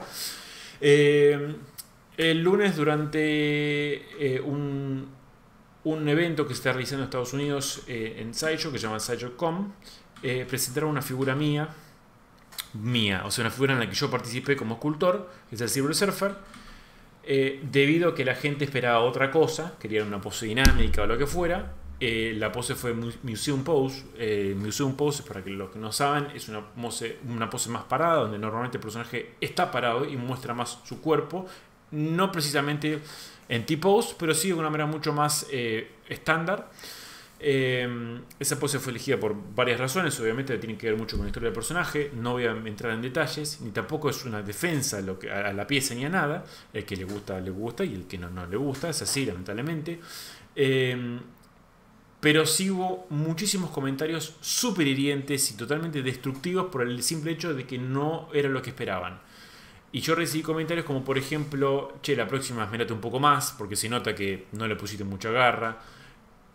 No porque la figura está mal hecha, a mi entender no lo está, sino simplemente porque no era una pose dinámica. Entonces es, si la pose es dinámica, hay mucho esmero, si la pose es más tranquila, lo puede hacer cualquier banana y está perfecto, ¿no? Y Esmerate la próxima. Bueno, en realidad lo menciono esto porque eh, les soy totalmente honesto. Más allá de esos comentarios que yo, por supuesto, siempre los tomo, depende de quién viene, me voy a dar cuenta. Eh, uno no tiene que ser tampoco tan sensible, uno tiene que estar dispuesto siempre a recibir críticas, por supuesto, eso está, pero por fuera de todo eh, de sobreentendido. Sí lo que fue muy hiriente es recibir no críticas, comentarios totalmente destructivos y malintencionados como los que les mencioné recién, o explícame por qué tomaste esta decisión eh, de hacer esto y no contentarnos a todos los que esperamos de lo que vos hagas, bla, bla, bla, bla, qué sé yo, a tal punto que la verdad que el mal día la pasé, eh, perdón, el lunes la pasé muy mal. Tuve un día bastante, tampoco que me quise horcar en el, en el baño con, una soga, o sea, sino simplemente... No, hace falta llegar a ese... Claro, no, no, simplemente de verdad como, como artista me, me sentí un poco como que pese a que uno da todo siempre en cada figura, inclusive en esas que parecen un poco más simples, pero déjenme decirles que no son más simples porque sean Museum Pose, al menos para aquellos que no tienen eh, por ahí mucha idea de lo que están diciendo, eh, sí, eh, la verdad que me afectó en el sentido de que de decir, che, pucha, o sea, yo la verdad que pensé que a mí la figura me encanta, me sigue gustando, ningún comentario hizo que me cambie la opinión. No, por eso no estoy diciendo que no escucho críticas constructivas, todo lo contrario, lo que siempre hago y me encanta es escuchar críticas constructivas. De hecho, como nota de color, las, las veces que tuve la posibilidad de estar allá en Estados Unidos, en la Comic Con, me paro al lado de una figura, escucho que alguien viene y habla de ella, me presento y le digo, me podría, además de obviamente hola, ¿qué tal? Y agradecerle, me digo, por favor, que me digan qué es lo que no le gusta. Porque es lo que a mí me hace entender qué es lo que no tengo que repetir, si en el caso que veo que es un patrón que a mucha gente no le gusta. Eh, porque que te digan que está buenísima es, un, es un, algo halagador, está fantástico, pero lo que te ayuda a crecer es la crítica constructiva. La que te dice, mira, la verdad que a mí no me gusta.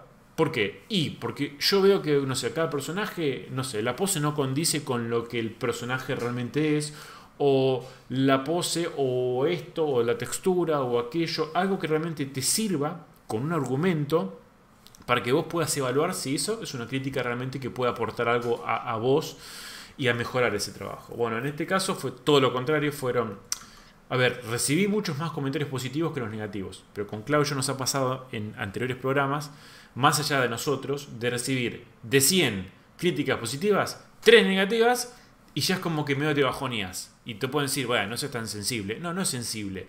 Es una cuestión eh, psicológica súper estudiada, que justamente hoy eh, eh, Clau me lo explica un poco, porque la, novia de Clau es, es ella psicóloga y estuvo hablando un poco de, ello, de eso con, ello, con él, perdón.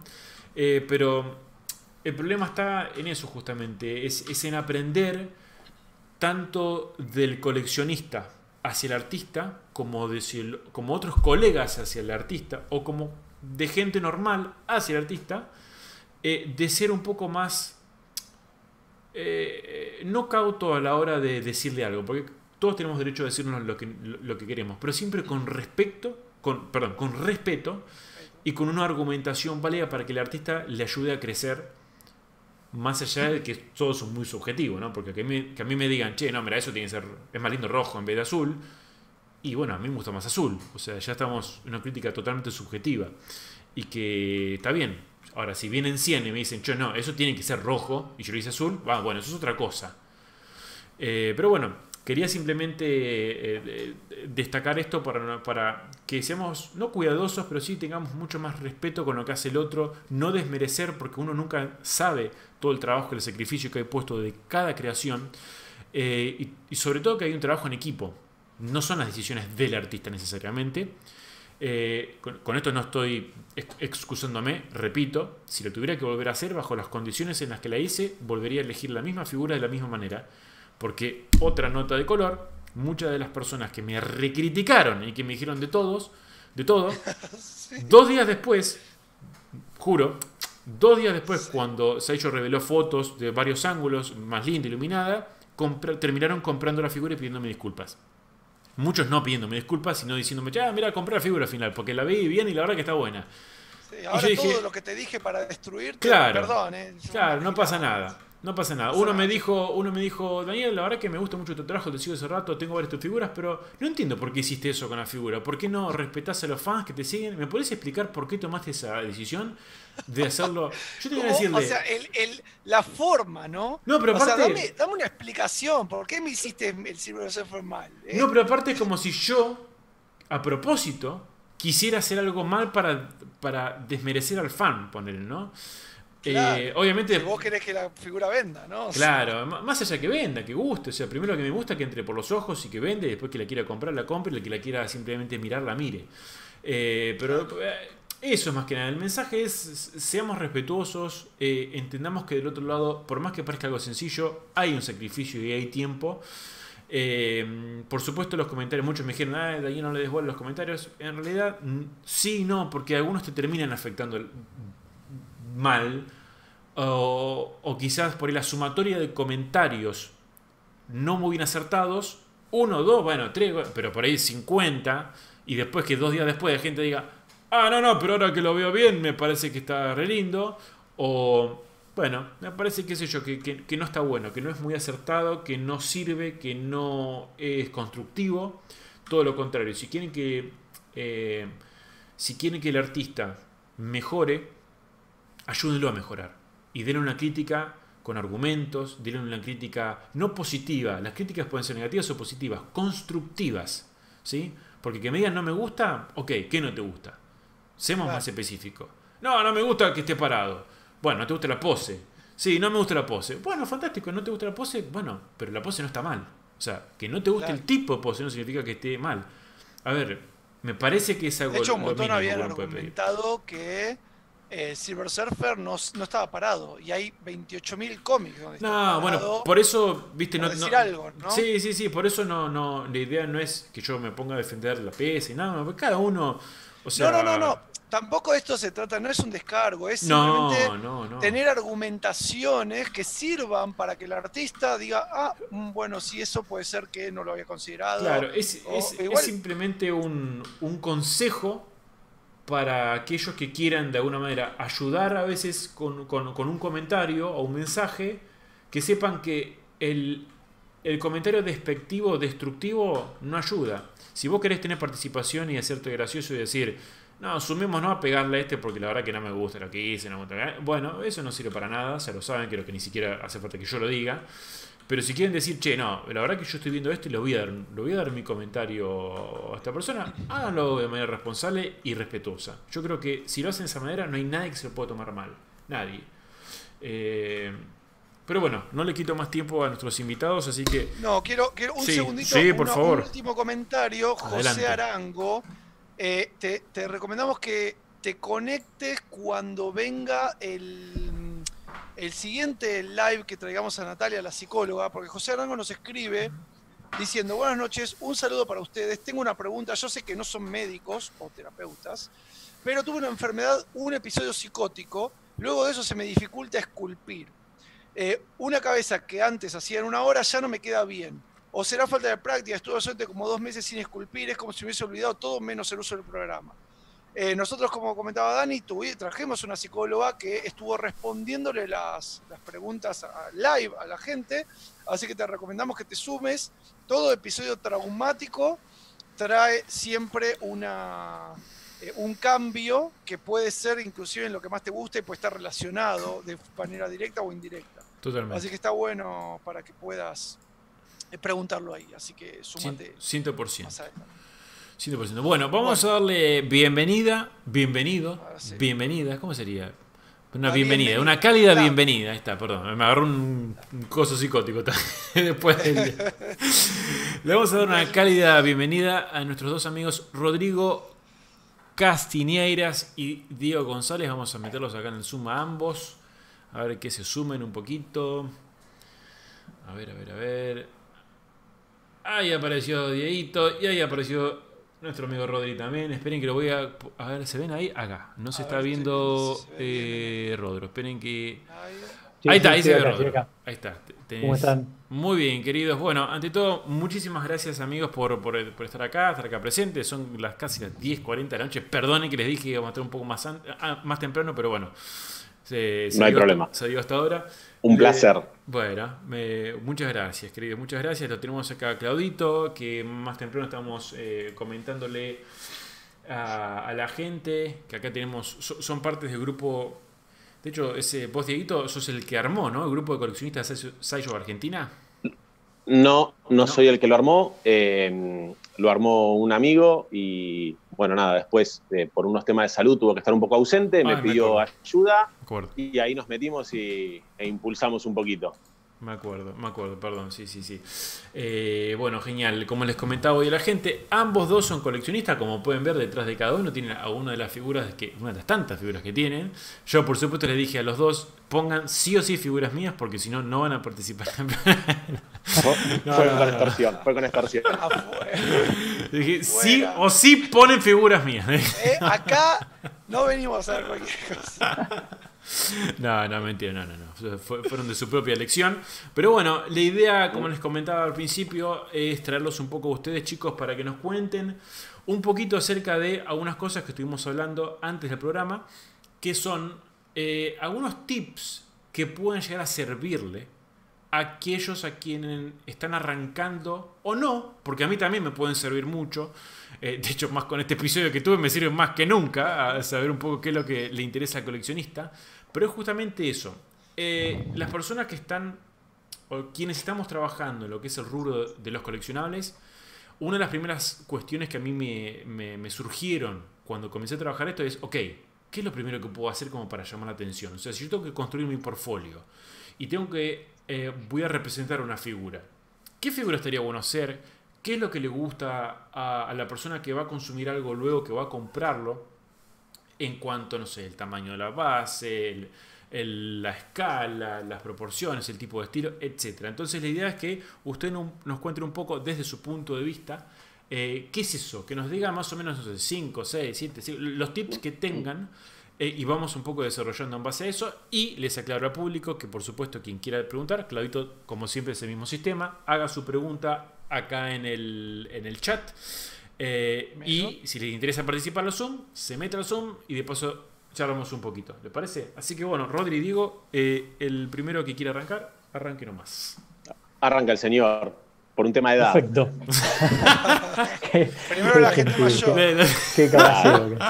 antes, antes de arrancar, Dani. Qué Dani, fíjate que la pantalla nuestra, capaz que puedes reducirla un poquito más. El ah, tienes razón, tienes razón. Y cropearlo, y cropearlo menos. Ahí está, mira. las cámaras. Ahí está, no, le había prestado atención a eso. Ya está, ahí lo tengo solucionado. En un ratito lo van a ver, en un ratito lo van a ver bien a, a Rodri, que lo tenía medio.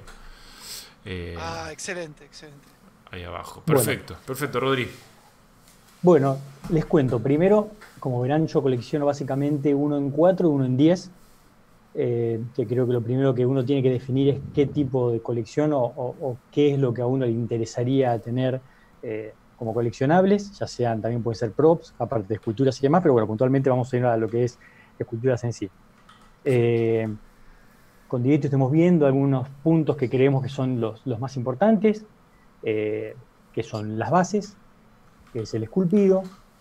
Eh, tenemos también el tema de la anatomía. Mm. Eh, y tenemos también lo que transmite en sí la figura en cuanto a su pose, a su composición completa. ¿sí? en base a esos, a esos puntos, en algunos compartimos bastante el punto de vista, diría en la gran mayoría. En otros por ahí discrepamos un poco. En el tema de las bases, cuando estemos por ahí en el tema de las bases, ahí van a ver que estamos parados en, veredas un poquito opuestas. Eh, pero bueno, básicamente creemos que los puntos a, resaltar serían esos. Perfecto. Che, y Rodro, ambos dos. Cuando hablamos acerca, por ejemplo, ya que dijiste, vamos a empezar por el, principio, bien al principio. Yo te digo, por, por ejemplo, no sé, personajes, ¿no? A muchos a mí me preguntan, che Dani, mira, me quiero meter en esto y quiero hacer un fan art, o sea, para mi portfolio y de un personaje, ¿no? Entonces yo digo, bueno, mira, normalmente Batman es el más conocido, el tema es que si es un Batman, hay un montón de Batman en el mercado. Eh, entonces por ahí no vas a llamar demasiado la atención si no, si no te mandas el mejor Batman que, o uno de los mejores que haya en el mercado. Entonces, por ahí saliendo, si salimos un poco eh, de lo súper conocido o de lo más popular, Ustedes que, eh, por ejemplo, no sé, yo he escuchado muchas veces que a veces dicen los coleccionistas, oh, otra vez esta figura, oh, otra vez esta, oh, otra vez otra. ¿Qué, recomiendan si supongamos que alguien lo está mirando, que quiere estar armando su portfolio y que quiere encarar un personaje? Eh, ¿qué, personaje le podrían proponer a ustedes que, conociendo el rubro de, sus colegas coleccionistas, por ahí les gustaría ver que no se haya visto tanto? ¿O qué, onda? ¿Qué le podrían decir? Mira, eh, bueno, Dieguito, te la dejo a vos.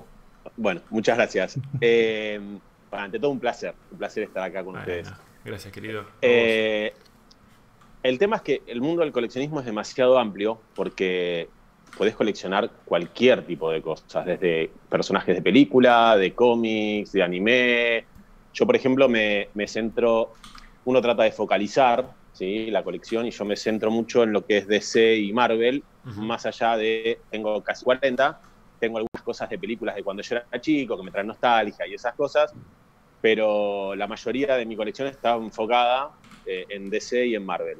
Eh, yo, por ejemplo, si vos me preguntás a mí qué personajes me gustarían, olvidándome de todo, simplemente de qué me gustaría tener en mi colección, que todavía no tengo, a mí me encantaría un Nightwing. Bien. Me encantaría un Kimping, un Doctor Octopus, eh, pero. ¿Por qué te pensás que esos personajes. Que... Perdón, perdón. Sí, no, no, por favor. No, no, decía, ¿por, qué crees que esos personajes no hay muchos en el mercado? ¿Que son, eh, son menos conocidos? O sea, ¿qué, qué, es lo que. ¿Por qué no hay tanto? A ver, eh, nosotros coleccionamos obviamente productos con, con, franquicia, con licencia, oficiales, y entiendo que realizan un estudio de cuánta gente puede llegar a querer ese personaje o no. Eh, y comprendo que un Batman siempre va a tener un público estable, un público fijo y que siempre tenés un volumen de venta mucho más grande. Y, es una cuestión lógica como, como cualquier producto que se realice. Eh, también creo que, por ejemplo, en el caso del Kimping, tendría que ser un producto excesivamente grande. Yo colecciono yo colecciono escalas 1 en 4, 1 en 3 y alguna cosita, 1 en 2 o algún busto 1 en 1, alguna cosa de esas, pero mi, fuerte es 1 en 4 y algunas 1 en 3. Y ya tener un Kimping 1 en 4 es un volumen excesivo. Eh, también para muchos coleccionistas sería una complicación. El tema del espacio es fundamental para nosotros. Se vuelve casi tan importante como el costo de los o sea, como la plata que uno tiene para poder gastar en esto que no deja de ser un hobby. Claro. Y, entiendo que por ahí son varios de esos factores y también calculo que no será demasiado atractivo. Yo comparo eh, un Spider-Man con un, con un Kimping y entiendo que es mucho más atractivo para el público en general un Spider-Man. Pero bueno, uno va, uno va avanzando, yo soy mucho de intentar completar líneas y entonces me encuentro con que hay productos que sí, definitivamente me faltan y me encantaría tener. Claro, claro. Claro, claro, claro, está bueno. tomen nota. Y yo acá están tirando también. Oh, oh, ¿Cuál es Kimping? te juro que parecía que estuvieran este, leyendo, digamos, la mente, porque justo cuando estaba por, por responder acá Rodrigo, eh, preguntaban, preguntarles cuál es el tamaño de la figura, si prefieren uno en 6 o uno en 4, la respondieron. Después estaba por hablar este, Diego y Iván pregunta, ¿predomina más el gusto por la figura cómica o la animación? Está más lo clásico, lo comentarios y, otra vez la respondieron. Estamos, estamos todos conectados, gente, es así. está ahí, bueno, Si, se me, si, se me, permite, ahí de algo que comentaste, el tema de las escalas, sí. eh, cabe aclarar que nosotros estamos, hoy es nuestra opinión y nuestro punto de vista en base a un camino que uno va recorriendo y que va aprendiendo y va evolucionando todo el tiempo. Y uno empezó por una escala, después fue cambiando, fue yendo a otra. Y hoy a mí, yo por ejemplo, yo hoy no compro nada que sea menos de 1 en 4, sacando alguna excepción de una línea 1 en 5, que para mí en lo personal la 1 en 5 es una línea muy complicada porque es, tiene un tamaño considerable, pero al lado de las 1 en 4, de las forma realmente queda muy pequeña. Eh, y entonces es una línea que me complica mucho para combinar a la hora de exhibirla. Pero yo uno en 6 no colecciono y uno en 10 tampoco. Eh, los dioramas de uno en 10 a mí me encantan, pero no es algo que yo tengo en mi colección. Sí, Rodri tiene un montón. Claro.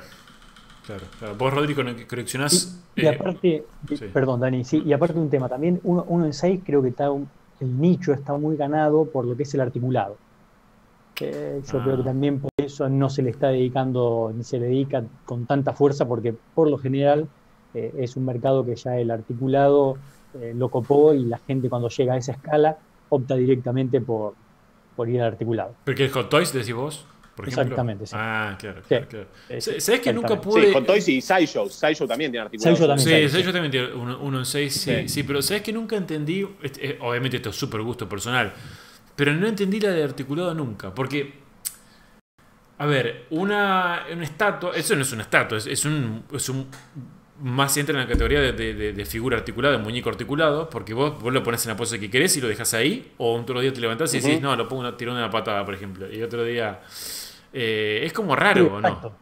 Es, como raro, es como medio para jugar se, se me hace, ¿no? El, tema del articulado, porque aparte Hot Toys y, y como decías ellos, se venden a patada, o sea, vienen a darse un montón.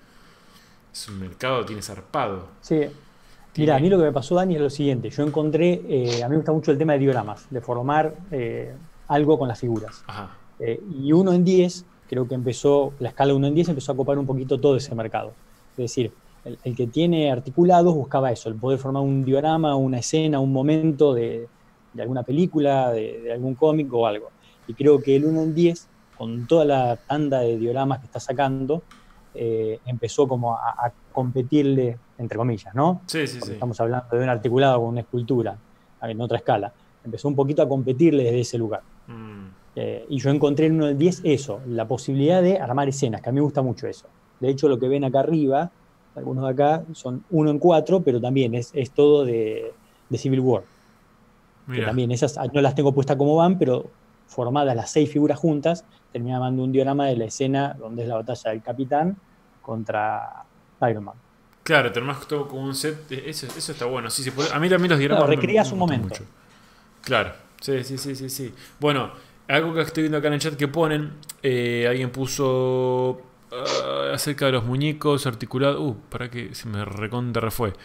Eh, acá decía Álvaro, Álvaro Giovanni, yo amo las figuras articuladas, hot toys, mythcloth, muñecas, etc. Hablando de las muñecas, a ellos sacó una línea que yo me acuerdo cuando fui allá las vi, eh, dolls, que el sistema de articulaciones es por hilos, es resarpado.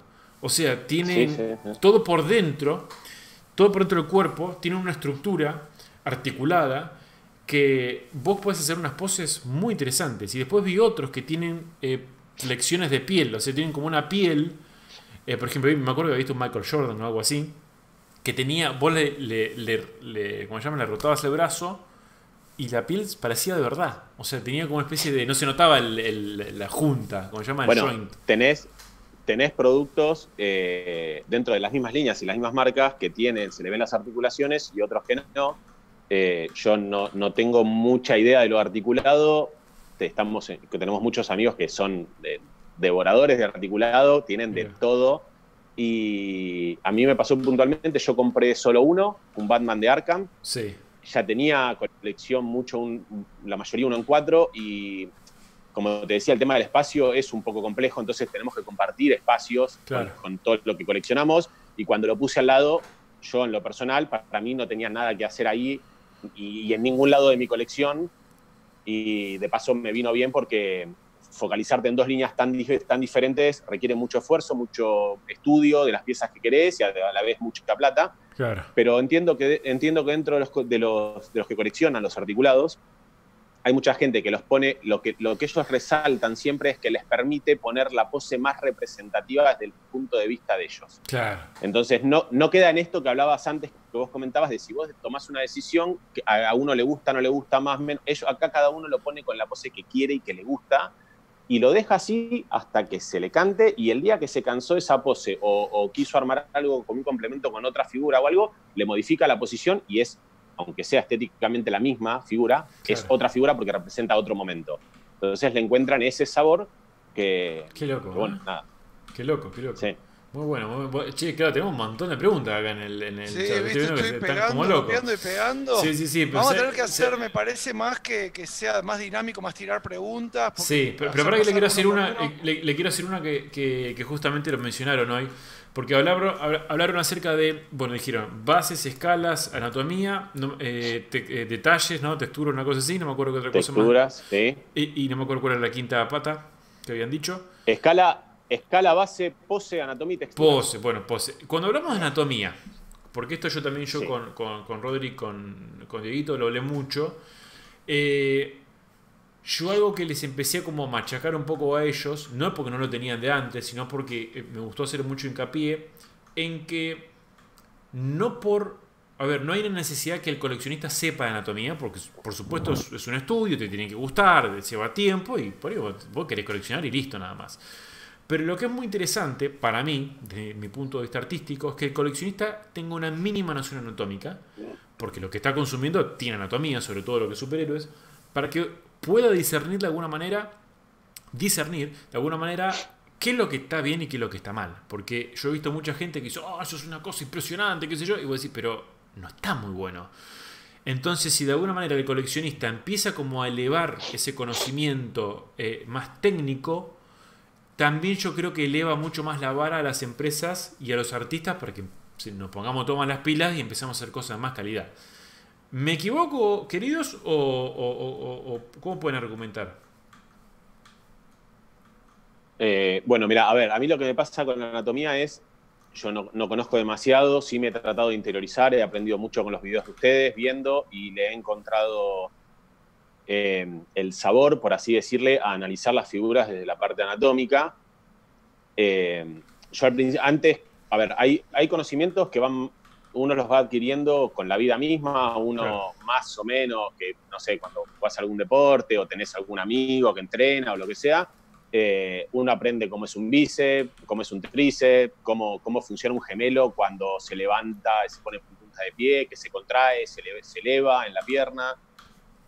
Y antes por ahí uno veía que desde el escaso conocimiento que uno tiene, había cosas que le hacían mucho ruido, pero no, no le daba demasiada importancia. Era, era, bueno, si me gusta en el concepto general, perfecto. Y hoy traté de ir afinando el ojo, de, mirar esos detalles, y honestamente me, llegué al punto como que me metieron en la cabeza de tanto escucharlo, que si una, si una figura está mal anatómicamente me molesta.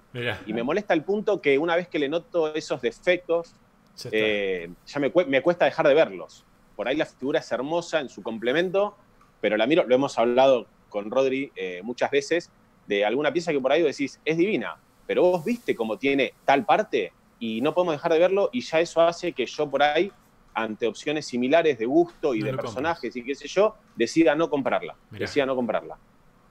Mira, eso, eso yo creo que eh, algunos lo podrían catalogar como malo, negativo, pero creo que lo mejor que nos puede pasar a todos los artistas es, que la exigencia crezca para que hacernos crecer a nosotros también.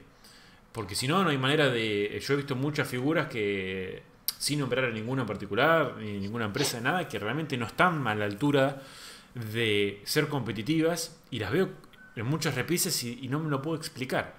Eh, pero bueno, por eso también quería hacer un poco de bueno, hincapié. ¿sabes, qué pasa? Ahora no sé qué opinar Rodri, pero ¿sabes qué pasa? Es eh, digamos, uno entiende que, ya de por sí los superiores tienen eh, anatomía exagerada y después hay estilos que le gustan más a uno, tanto escultores a realizar o, coleccionistas, que por ahí te gustan más exagerados los volúmenes o, más reales o más naturales o más estilizados. Pero si, por ejemplo, no sé, te tiro una cosa burda, si uno pones una pelota de fútbol en un bíceps y claramente no está bien. Y sí. Y, por ahí, viste, como te decía, en otro momento lo dejas pasar y hoy decís, no, no, no, no quiero ese bíceps. No, no me gusta y me molesta y ante otras opciones yo elijo ir por, por las que más me cierran. Claro, elegís otra cosa. No, no, está, está, perfecto, está perfecto. Mira, acá tenemos un montón de preguntas, perdón, ¿no? Pero no, está perfecto. tiro una que es un, es un combo de cuatro. Pero pará, está Roberto.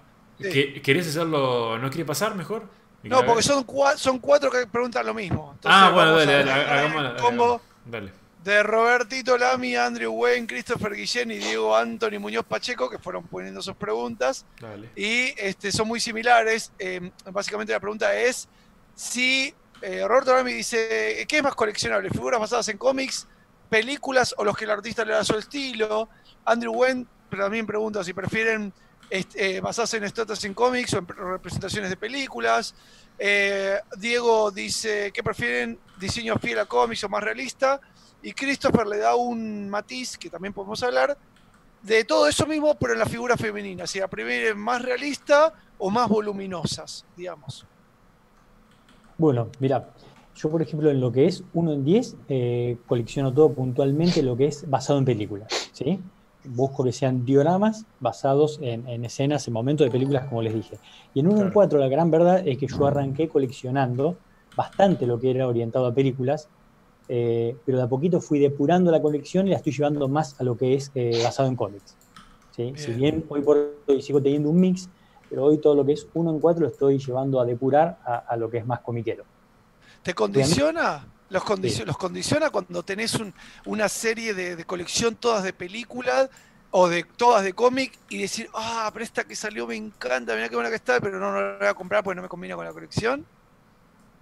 Mira, a mí puntualmente no, la verdad no. Si, la figura me gustó y me transmite lo que yo espero de una figura y al verla me, moviliza y me lleva al lugar que, yo espero de, ese personaje, eh, la verdad no, no, me condiciona. Ah, bien. No me condiciona a, mí, a, mí, a, mí, a mí tampoco me condiciona, trato de focalizarme en los cómics. Eh, tengo de película, lógico, no sé, el 10% de la colección tiene que ver con, personajes de película. A mí lo que me pasa puntualmente es que no, cuando van a hacer el rostro esculpido de un actor, eh, tiene que ser, no te digo igual, pero clavamos un 80% parece. Yo tengo que verlo y tengo que ver al actor. Porque si me lo vas a dejar así medio como si se parece, si lo miras de costado, tiene un aire. No, no. Entonces, de hecho, de, hecho es, es, un tema mío. De hecho, hay muchas piezas que vienen, como saben, saben acá los escultores, hay muchas piezas que vienen con dos o tres cabezas intercambiables y si la, la que representa al actor no está realmente muy, muy bien representada, prefiero poner la otra. Eh, absolutamente. Mira. Buenísimo. Y, bueno, y una derivada de eso, eh, sobre la pintura, la prefieren, eh, acá expresar dibujos, y sobre la pintura la prefieren realista, más estilo lo que hace Hot Toys, de, digamos, este, no, no realista, me, imagino que está, que está refiriéndose a un estilo Iron Man eh, metalizado o un estilo cómic más satinado y menos brillante, digamos. Mira, yo creo que ahí depende de que estés comprando. Vos fíjate, pongo el ejemplo que está atrás mío. La línea media es bien comiquera y son colores más reales, que resaltan más, más fuertes, eh, bien basado en el cómic. Y la línea de arriba está más orientado en lo que es en película y son otras texturas, otros colores más apagados. Eh, es, depende también lo que vos estés comprando en base a lo, a lo que terminás definiendo. Si buscas algo orientado a lo que es película, vas a buscar algo que sea una textura y un color más real. Y si es comiquero, sabés que son colores más estridentes, texturas distintas. Depende que, que hayas puesto el foco de lo que vas a comprar. Yo tengo, yo tengo una, yo tengo una para los dos. ¿Museum Pose o Pose Dinámica? Ojo lo que responde. Ojo lo que responde. No, eh. con la verdad, con la verdad, y no podemos mentir porque Dani ya sabe lo que pensamos.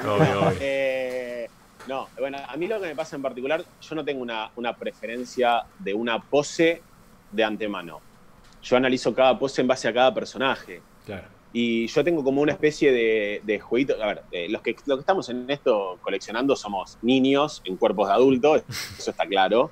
Eh, y, yo, me, yo, me, hago como una especie de jueguito que yo trato de ver la pose más allá del personaje y trato de analizar como qué me está contando, qué le está pasando psicológicamente, cómo es ese personaje, eh, está enojado, está pensativo. Trato de analizar todas las opciones que me da la pose, independientemente del personaje. Una vez que logré sacar como ese perfil que me quiere contar, ahí miro el personaje y analizo si son compatibles las dos. Si el personaje no va con la personalidad que me están tratando de representar en la pose, entonces ahí la pose no me gusta tanto. Pero va independientemente de, si es una museum pose o una pose dinámica. Eh, lo, voy más por lo, que me quiere contar y aparte también una vez se dice, no, a mí me gusta más el cómic y ahí empezás con, bueno, ¿qué cómic? porque hay un montón de cómics de personaje. ¿Y, cómo se hace eso ahí?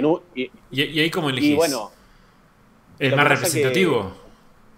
claro, por ejemplo, no sé, bueno, eh, no, no, voy a nombrar personajes, pero hay personajes que, a mucha gente le gusta el momento que tuvo en la historia, mucho más loco, más, más lleno de ira.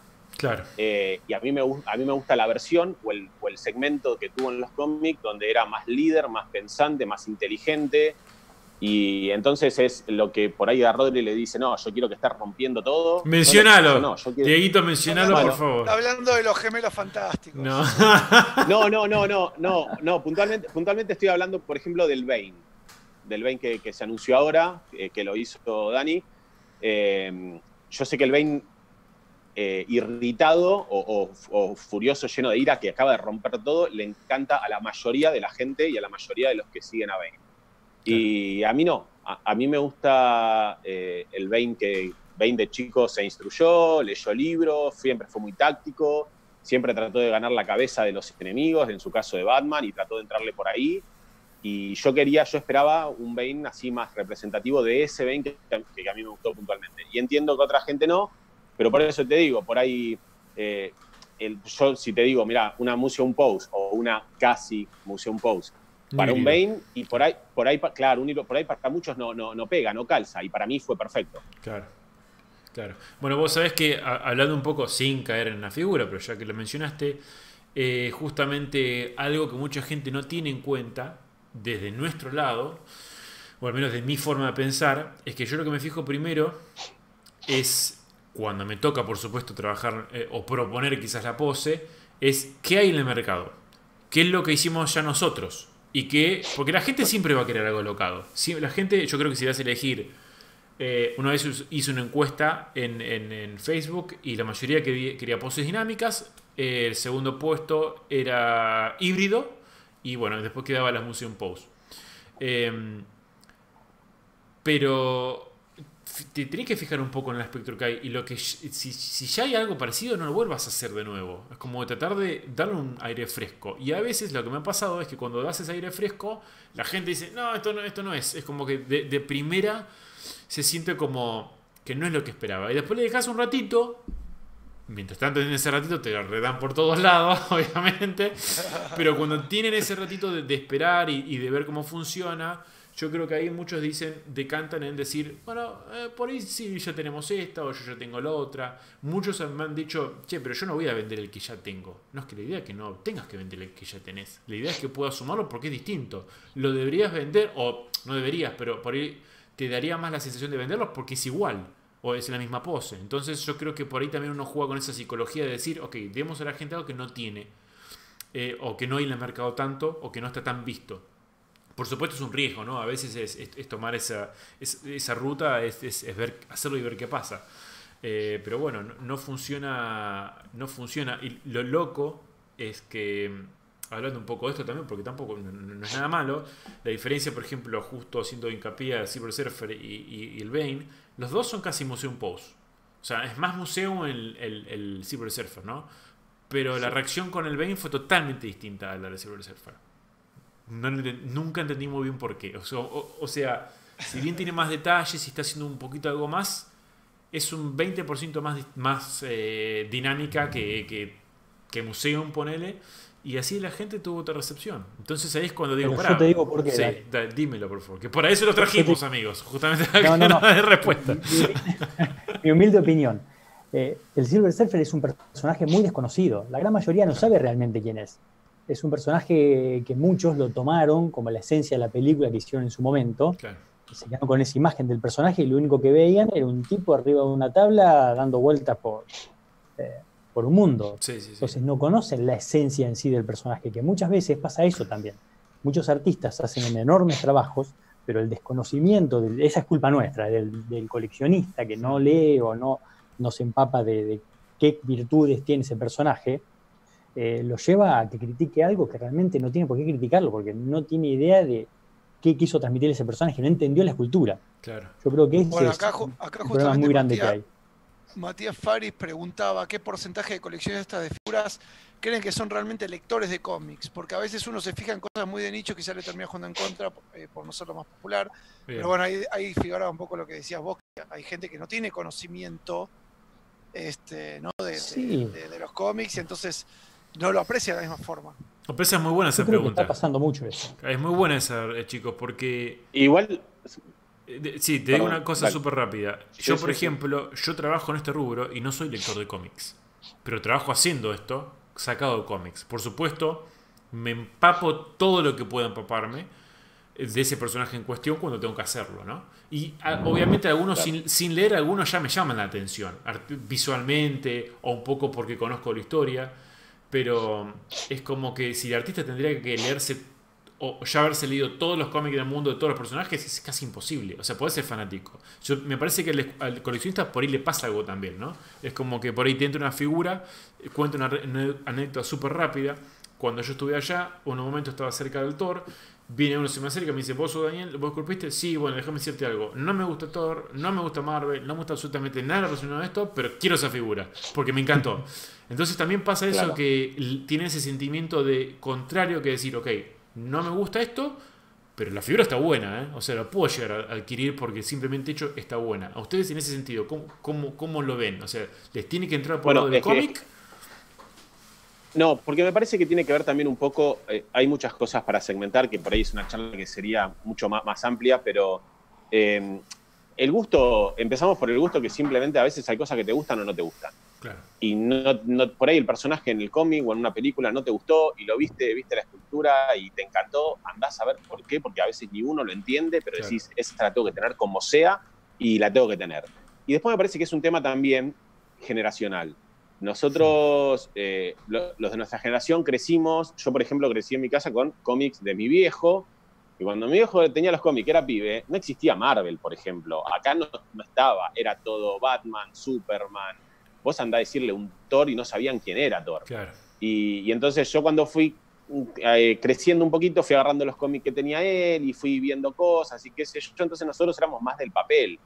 Y, y desde ahí por ahí adquirimos otro conocimiento. Hoy eh, con, todo cómo pegó el, universo cinematográfico de Marvel, todo el universo de DC y todo en el cine. Hoy la gente consume, fíjate que tenés series en las plataformas, eh, tenés miles de películas todos los años, ya te anuncia la que van a sacar dentro de cinco años con todo el cronograma de una tras otra. Que, y entonces eh, mucha gente entra por ese lado y está perfecto y no tiene por qué conocer los cómics. Ahora, lo que pasa es, si cuando el artista realiza una pieza basada en un cómic, ahí para, para analizarla, si te gusta o no, tenés que tener un concepto mínimo, porque si no, no te va a cerrar nunca, no te va a cerrar nunca. Claro, claro.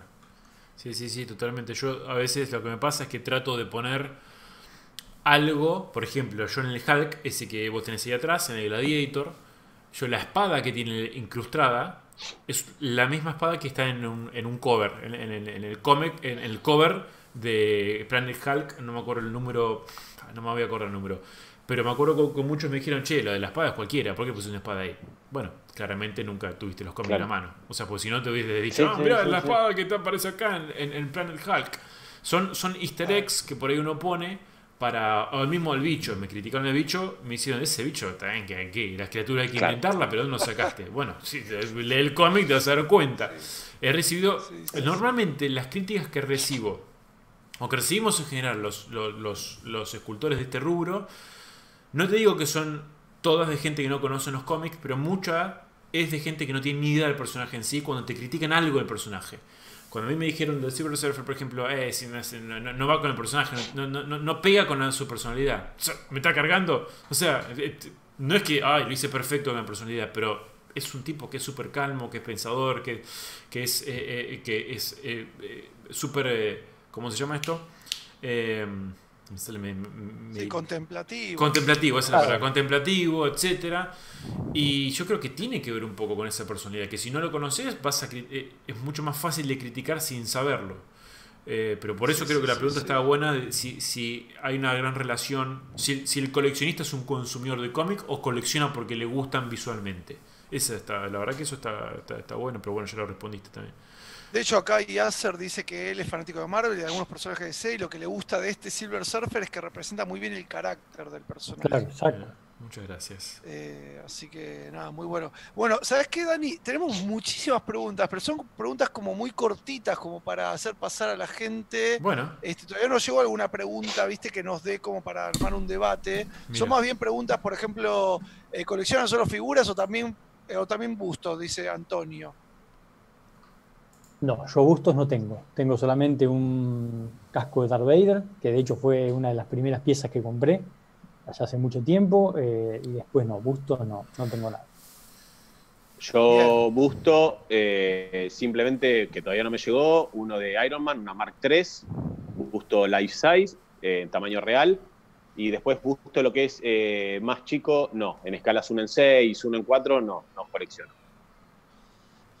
Em, y acá también pregunta, William pregunta, ¿valora la pieza por el escultor que la realizó, la calidad de la pieza o, por la calidad de la pieza, así sea un artista no conocido o ambas cosas, digamos? Rodri. Bueno, mira, yo la gran verdad es que cuando uno compra una pieza de un artista, sabiendo quién es el artista, ya tenés una garantía de algo. Cuando vos compras una, una pieza de Dani, tenés la garantía de la anatomía. es así. Vos, sabés que anatómicamente va a ser una figura que va a estar inmaculada, impoluta. Eh, entonces, el, artista influye, la verdad, un poco al momento de tomar una decisión, más si tenés el mismo personaje esculpido por eh, distintos artistas. Pero igual la compra de la pieza va más allá de, quien la esculpió también. Es lo que a uno le transmite, a lo que uno ve, a lo que uno perciba y cuánto a uno le guste o no eh, la figura en su conjunto tiene que transmitir algo la figura cuando uno la ve. Bien, eso, eso está conectado justo a una pregunta, apareció nuestro querido amigo y estrella del programa anterior, Franco Carlésimo, que dice, hola lindos, pregunta, ¿qué tan grande es el papel de la nostalgia en el momento de coleccionar? ¿Se entiende? enorme, enorme, sí, enorme. Como que, como que si, la, si la figura te llega a remitir a un momento característico de algo que viste cuando eras chico puede tener mucho más peso todavía que... Sí. Este...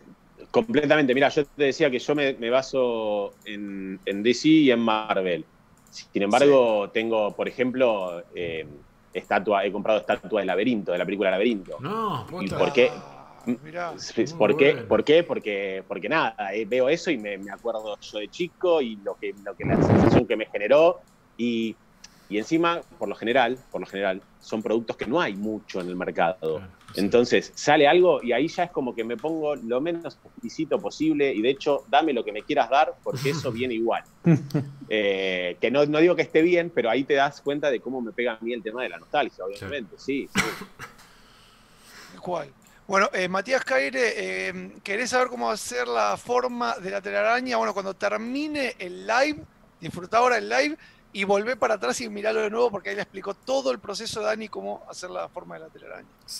Eh, así ya te queda ahí. Em, a ver, acá hay una pregunta este, que Miguel, Miguel Gutiérrez nos está exigiendo que no estamos leyendo las preguntas. Dice, ¿qué cosas tiene en cuenta al elegir si hay muchas figuras del mismo personaje. O sea, tenés mucho Capitán América o muchos Iron Man, Spider-Man. ¿Qué buscas? Del... Creo que igual fueron contestando esta pregunta ya, por eso tampoco la metí, fueron metiendo qué, qué cosas le remiten de un personaje, ¿no? Pero si tuvieras tres o cuatro, ¿qué, qué, qué pondrías más en la balanza? Mira, yo lo primero que contemplo también en ese momento, eh, dejando de lado el escultor, es eh, ver qué puedo hacer con esa figura, a, qué la puedo llevar esa figura, es decir, cómo puedo acompañarla. Para mí algo muy importante también al momento de decidir qué figura uno compra es qué tiene pensado hacer con, la misma, es decir, querés formar un diorama, querés formar el equipo, eh, la liga o lo que sea que esa figura transmita en sí, eh, o si solamente la vas a comprar como para tenerla sola en un costado de tu casa, independientemente eh, de todos los demás. Yo ahí sí empiezo a, evaluar otras cosas, si hay bases que se le puedan llegar a unir, si se puede formar un diorama y otros detalles. Bien. Sí, y a veces, perdón, a veces se definen por cosas muy, ínfimas que tiene que ver con esto que dice Rodri. A ver, hay un tema conceptual que es, eh, yo entiendo que el artista cuando realiza una obra, realiza una obra única y la toma como el todo. Ahora, los coleccionistas, esa obra va a ir acompañando otra colección y probablemente una línea o un set de personajes que tengan que ver. Entonces, por ejemplo, si yo tengo un villano y tengo para elegir dos o tres héroes de esa saga, yo voy a tratar de elegir uno que, sea como una especie de espejo la forma, que se contrapongan, que se miren, que, cuando los pongo uno al lado del otro estén cruzando miradas, que parezca que se van a enfrentar y no que cada uno está por la suya con su grupo de amigos y, que no pasó nada. Y a veces se te definen con detalles también, cosas que, entiendo que el escultor por ahí no tiene en cuenta, es el tamaño de las estanterías. Eh, entonces, vos tenés estanterías, a ver, un estante promedio para los que coleccionamos uno en cuatro, a ver, todos tratamos de tener dos o tres niveles de estantería porque si no necesitas tener un, galpón exclusivo para las estatuas. Entonces, eh, por lo general tenés estantes de 60 a 65 centímetros, alguno de 70 y el de arriba que te llegue hasta lo que te llegue el techo. Ahora bien, la profundidad, por lo general, es entre 50 y 60 centímetros. Y entonces por ahí tenés una estatua que, que, está muy buena comparada con otra, pero tiene una profundidad superlativa te va a quedar media saliendo del estante y terminás decidiendo por el espacio y no por el gusto. Entonces, que, por eso, por eso es, es, algo que discernimos con Rodri, que él piensa de una manera, yo de la otra. Yo soy de los que piensan que la base grande solo si es absolutamente necesaria y si me cuenta algo específico del contexto. Si no, cuanto más chica, mejor, porque el espacio vale oro en coleccionar. Muy bueno, ahí hay una pregunta relacionada. bueno, pará, acá, acá, acá, acá se vienen los bifes por, por dos motivos. Primero acá hay, acá hay un, no solamente uno prefiere bases grandes y otros chicas, sino que uno es de Boca y otro de River, fanático los dos. No vamos a hacer ese tema porque se nos termina el programa, se pudre todo, pero para que sepas que también esa rivalidad va en varios campos de River Boca. Nosotros ya tocamos un programa en River Boca. Le, pegamos un poquito a River, obviamente, porque justo nos tocó el muñeco Gallardo, pero no vamos a ir ahí. Pero, pero bueno, así que. Eh, pero para nada, volviendo a las bases. Eh, Rodri, ¿qué, onda las bases? Eh, las bases, la verdad, las bases importantes. Eh, me, parece que, le dan un plus a la figura. Siempre y cuando, sí hay algo que dijo Dieguito que es verdad. Me influye sí la profundidad de la base. La profundidad de la base es un tema no menor por el tema de las estanterías. Por lo general sí, son entre 50 y 60 centímetros y, ya si excede de ese volumen, sí, ya es, un problema. Y de hecho no compro la figura. Eh, pero después que las bases sean altas, siempre y cuando obviamente tienen que tener algún sentido, ¿no? Te lo van a poner arriba de una escalera para que esté más alta y nada más. La base tiene que transmitirte un algo también con respecto a la figura. Pero yo creo que la base le suma mucho. Te ayuda a terminar de contar la historia que te empezó a contar la figura. Yo creo que la figura empieza toda una historia y muchas bases terminan de, redondearte todo, eso que te están contando. Sí, pasa también que, perdón, un segundo, pasa que la, base, la base tiene que tener la misma calidad de diseño que tiene el personaje. Porque si la base es simplemente una base para que lo sostenga, pierde un poco el sentido. Y a veces te pasa que te encontrás piezas con bases muy grandes, muy imponentes, pero es todo, por decirte, tierra y piedras. Entonces, si me vas a hacer todo tierra y piedra, no me hagas 70 centímetros de base. Porque no, no me. ¿Entendés? Porque, porque está todo bien que la, base se ve imponente, pero la realidad es que, eso con 30 centímetros me lo solucionabas. En cambio, si me vas a contar un contexto, y listo, haz lo que quieras. ¿Me quieres usar un metro? Usalo. pero que me dé un contexto y que tenga la calidad de diseño y esculpido que tiene el resto de la figura. No te la saques. Ese, ese dato para mí es oro, por ejemplo. Porque a veces nosotros. Eh, a ver, el tamaño de las bases también va de acuerdo a el soporte de la figura. Si es una base, por ejemplo, eh, no sé, donde el personaje está haciendo algo medio, medio dinámico y no hay manera de que una base chiquita la soporte, por ahí va a haber un poco más de piedra y uno le trata de poner algunas cositas eh, extras como para que sumen. Entonces eso, eso, está bueno también tenerlo en cuenta de no hacer por hacerlo. No hacer porque ah, queda lindo y suma el contexto, porque también eh, yo sumo que la base suma la composición o puede restar a la composición como loco. O sea, una base puede quitarle eh, protagonismo al personaje de una manera olímpica o la puede eh, enaltecer o directamente, no sé, que quede ahí como para que sea un soporte. Entonces sí, realmente es, las bases... Sí, sí, aparte vos tenés, vos tenés piezas, por ejemplo, como, bueno, como tu Hulk, que obviamente por la pose y el tamaño requiere una base grande. Claro. Después tendrás varias opciones en el análisis que, harás para, para ver qué le pones, o por ejemplo el Juggernaut maquette, que está en el Danger Room, el, el Juggernaut de los X-Men. Sí. Obviamente necesita una base grande, porque eh, tiene que sostener un bicho que pesa, no sé, 30 kilos.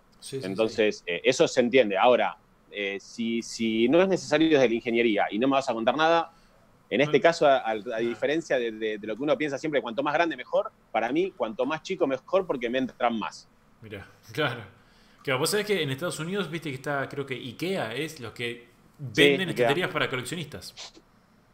Ah, mira. Sí, sí, sí, sí. sí. divinas. Con luces y todo te vienen también. Vi, que ya ah, tenés los. Sí, sí, sí, sí, vi que. y, y venden, venden también unos cubos unos cubos de acrílico ah, de alta resistencia que se ponen uno arriba del otro. Sí, sí. pero bueno, acá, Acá, en, acá en Argentina es como pueda. No tenemos en Easy. Sí, no están. no le confiaría poner 50 muñecos encima. Eh, tenemos unas preguntas interesantes que tienen que ver con esta cuestión de em, los costos, digamos, los costos en la vida de un coleccionista. Preguntan, eh, es, un, grupo de preguntas, así que se las tiro todas juntas. Eh, si, por ejemplo, dicen, comprar una figura costosa, así sea igual a otra menos costosa, si los hace sentir este, igual de bien, mejor, peor. Este, si, ¿Cómo les afecta el bolsillo de ser coleccionistas? Si les ha dado culpa comprar. ¿Y cómo es el tema psicológico de todo esto? Si realmente atrás del coleccionismo, esta cuestión psicológica del gasto en algún momento les hace pensar y decir, no, che, no sé, o al revés, les da como un tema de sentir que pertenecen a una especie de estatus, digamos, o de, o, de, o de sentirse orgullosos de su, de su colección, cuanto más cara sea la figura o cuanto más frondosa sea, sea la colección. Bueno, toda esa combinación de, de cosas relacionadas al valor económico detrás de la, del coleccionismo, ¿no? Mira, a mí francamente me es indistinto una figura de 100 pesos o 100 dólares. Eh, el tema es que a uno le guste y le transmita algo, volvemos siempre a lo mismo. Yo de hecho colecciono uno en 10 que vale un 10% de lo que vale una premium forma. Eh, y para mí la, satisfacción es exactamente la misma cuando abro una uno en 10 que cuando abro una en 4. Eh, después el tema de los costos, obviamente, creo que todo coleccionista lo primero que prioriza es el bienestar de uno y de su familia. No creo que nadie por comprar algún artículo de este tipo eh, esté descuidando eh, algún punto de su economía familiar. Yo siempre, primero la familia y después, si, uno se puede dar un gustito, bienvenido sea. es así. yo no creo que, si bien es es un, es un hobby un poco costoso, eh, pero no, yo no cuantifico la pieza por lo que vale, sino es por lo que a vos te transmite al momento que la viste. Si te gustó, no te gustó, y, hubo algo muy importante que preguntó uno de los chicos, que lo, respondió Dieguito, que es lo sentimental. También vos podés encontrar una pieza que no es nada del otro mundo, que es una pieza simple y sencilla, pero te, trajo un momento de tu infancia o de, algún otro tipo de recuerdo, y por eso es de tus piezas más preciadas. Claro. Y eso, eso, ¿Y sí, perdón, perdón, perdón. No, no, dale. No, no, no, ese seguí porque era, era más. Sacaba la pregunta. No, yo, eh, a ver, a mí me parece que en algún punto, como cualquier cosa que uno hace, junta, colecciona, eh, siempre trata de apuntar a lo más que pueda. Ahora, como bien dijo Rodri, em, esto hay que entender que es un hobby que no es de uno, sino que es de toda la familia, porque invade la casa, eh, porque a uno se le vuelve más que un hobby, eh, siempre está al borde entre lo que es un hobby y es una especie de adicción. Estás todo el tiempo viendo ah, que sale. justo preguntaban ahí si no era una adicción en algún momento. Bueno, sí, y creo que ahí está en uno saber hasta dónde, hasta dónde poner eh, el freno, digamos, cuando ya empezás a, complicar. Yo te voy a contar un dato que, menor. Eh, yo, por ejemplo, tiro las cajas. Y, ah, y sé que sé que muchos me quieren, me quieren matar y me odian por hacerlo. Ahora, ahora, la realidad es que, los que conocen cómo vienen las cajas, bien protegidas, con todo el packaging, el artbox, el shipping box y todo, eh, te compras una pieza y es una caja de un lavarropa. Y entonces vos decís, ok, compro, tengo 100 estatuas. Ok, ¿cómo hago para tener 100 cajas de lavarropa? Tienes que comprarte un galpón para meter las cajas nada más. Para, sí, bueno, para. Y, a ver, hay gente que lo hace y es absolutamente respetable, que le ocupa la casa a los papás, alquila un depósito o, cierra un espacio de la casa. Y bueno, y yo, bueno, yo para mí fue muy fue un cambio, fue un, quiebre que tuve que dar, que, Franco, Franco no, me, decía, tirala, las tenés que tirar, las tenés que tirar, las tenés que tirar. Y yo me negaba hasta que un día dije, bueno, con los ojos cerrados la tiro. Y tengo hasta el video grabado de cuando el camión de basura se llevaba las cajas. Porque yo no podía creer que estaba haciendo eso. Y fue una intención después. Ahora me llegan, acabo de abrir el coloso, el coloso de Dani, hace cinco horas la caja ya está tirada afuera. Te sentiste libre. ¿Entendés? ¿O no? Ya está, me liberé. Y con el tema de, eso, de, lo que, de lo que decían de. O sea, iba con esto a que cuando vos te, te empieza a alterar las prioridades y más que un hobby empieza a ser un problema, ya ahí vos te tenés que frenar o tenés que tener un amigo al lado, que, al lado que te pegue un cachetazo y te diga, te está yendo más.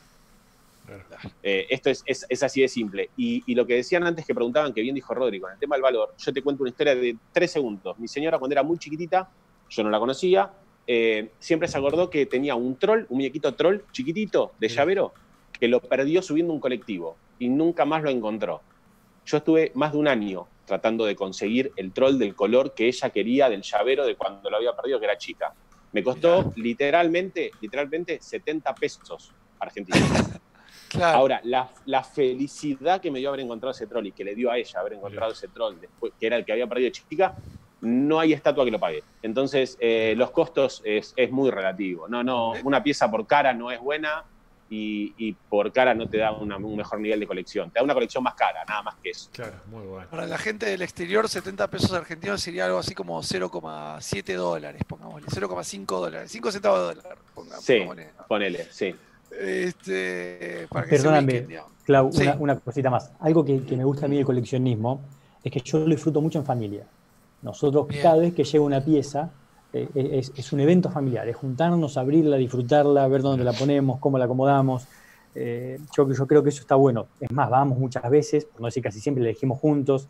Entonces, es, un momento de unión donde todos disfrutamos de, ver la figura, de entenderla, de investigar un poquitito más sobre ella. Entonces, es un punto que, que ese está bueno. Si lo tomás de ese lugar, es muy sano para, para el grupo familiar. Muy bueno. Bueno, voy, a, destacar una cosa, Claudito, que la gente no sabía, que Rodro Rodri es el esposo de Nati, ah, nuestra, psicóloga del programa. ya, le decimos la psicóloga del programa. Eh, y que el otro día, cuando. Esto es una, una, cosa intimida, tampoco tan íntima, pero el otro día, cuando Rodri tuvo una, recibió una figura, eh, el Coloso, me mandó un mensaje muy lindo, familiar, en la familia, que la verdad que me emociona muchísimo porque esas son las cosas que yo siempre digo que muy pocas profesiones me las dieron en 15 años de carrera. O sea, he trabajado en varias cosas y muy pocas veces sentí que tanto sacrificio y esfuerzo detrás de una figura hizo que eh, alguien se le, por unos minutos, dijo, che, le voy a mandar un mensaje a Dani para que, sepa lo que, nos, lo que sentimos nosotros cuando recibimos esto.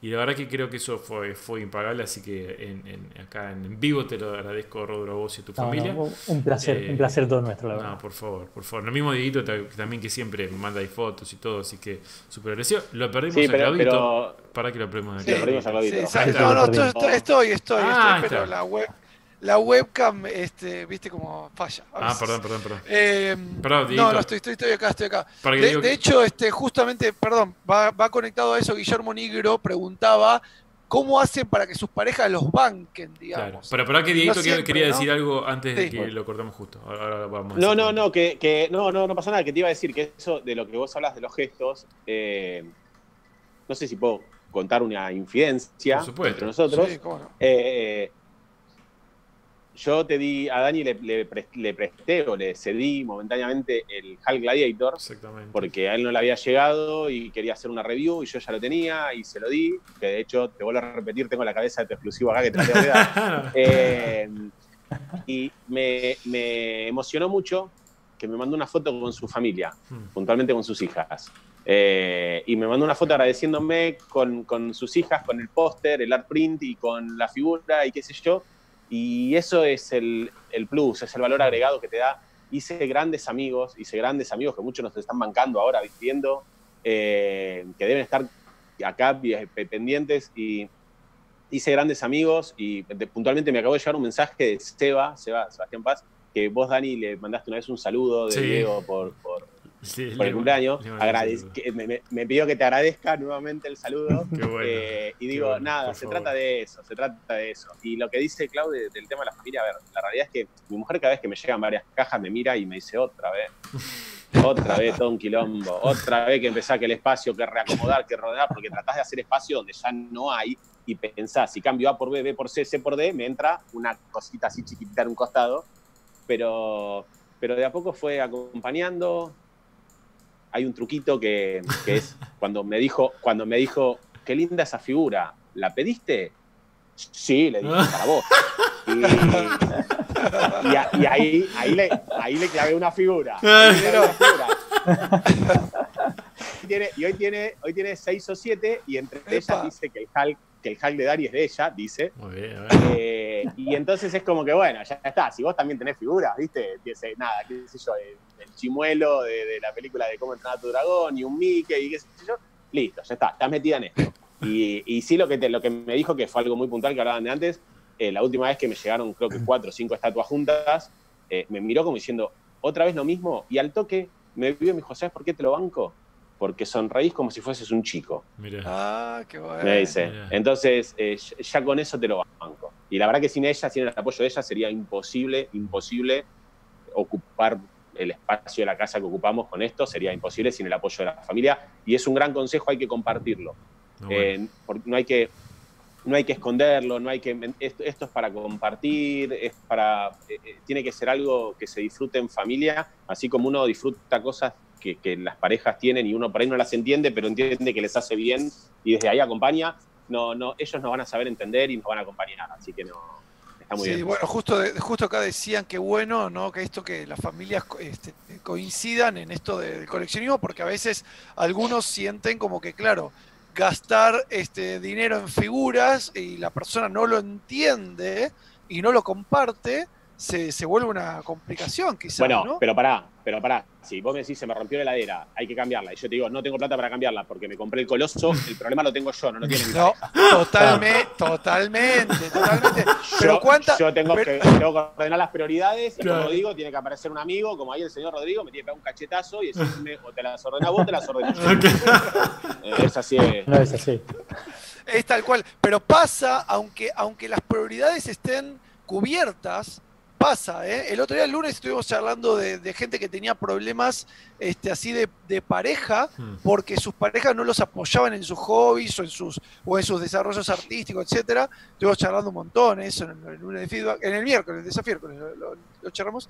Y qué importante no es poder tener compartir, o sea, creo que para mí la pareja, la familia, es importantísimo que uno tenga una gente que, que pueda ya compartir estas, estas cosas, ¿no? Si no, ya hay una, cosa, una cuestión de base tan íntima de uno que no puede compartir y se vuelve. Es, se puede es que yo creo, yo, creo que cuanto más lo escondes, más la alejas a la otra persona. Claro.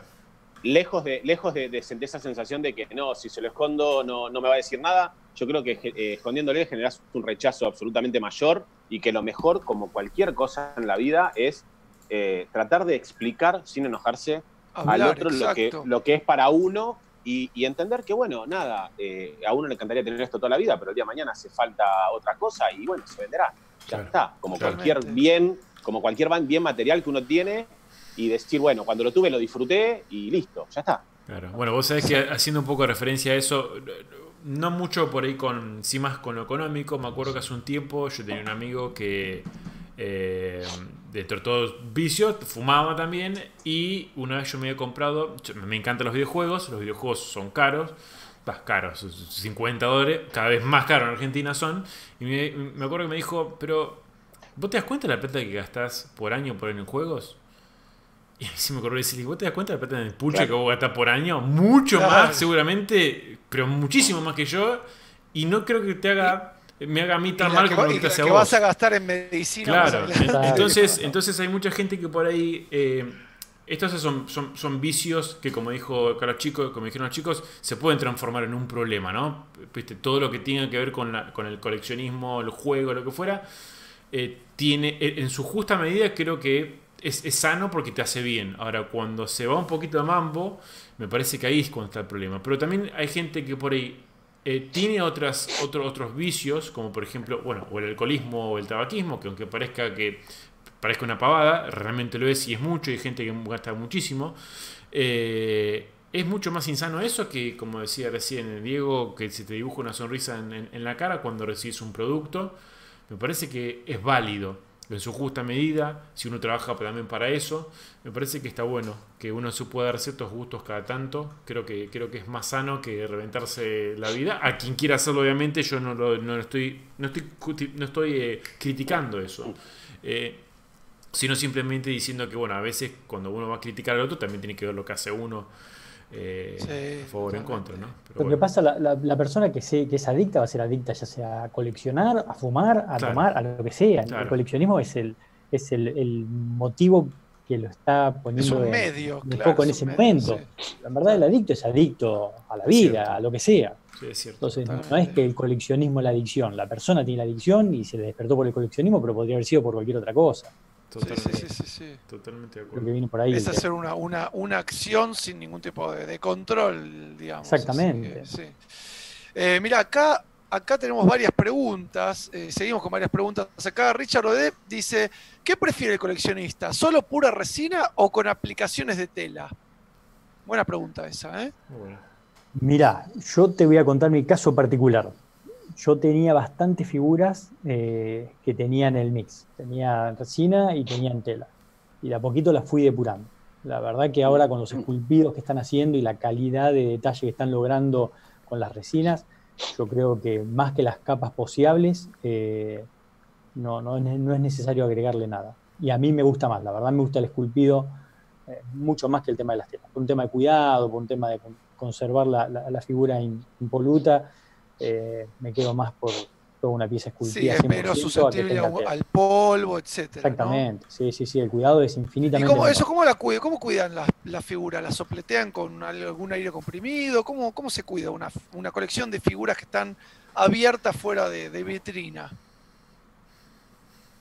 Dieguito. Eh, bueno, yo, a ver, yo no las tengo con vidrio exhibidas porque para mí el vidrio le mata mucho, detalle. Eh, ah, entonces, eh, sí, para mí el reflejo del vidrio no, no la favorece y te lo linkeo con lo que decía antes Rodri, por eso yo prefiero. Sí, las capas está bien, porque las capas posibles es un tema también que ayuda a que la pieza no se venza y el peso y un montón de cosas y te permite darle la posición que vos quieras, pero después eh, prefiero sin ropa, sin tela.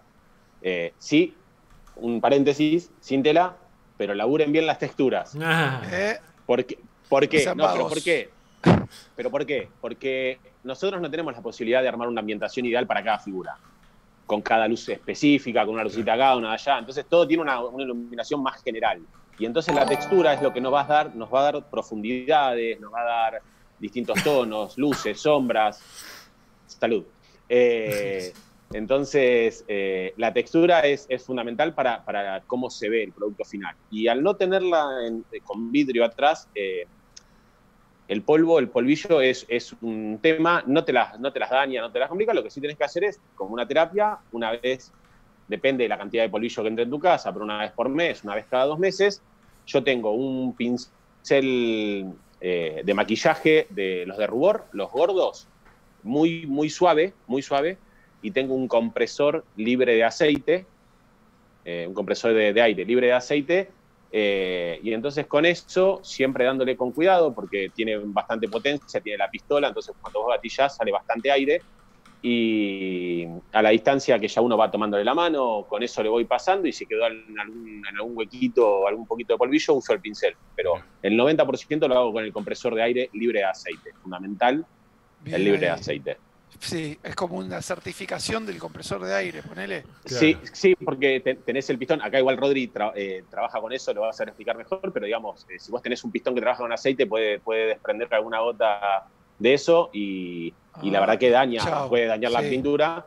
En cambio, el otro, también tendrías que comprarle un filtrito para la condensación, porque como sale el aire frío, puede salir alguna gotita de agua pero sabemos que el agua es 100% menos dañina que una gota de aceite en una pintura, ¿no? Mira, ahí te das cuenta que son coleccionistas y ahí te das cuenta que yo no soy coleccionista y que las tengo porque las hago yo.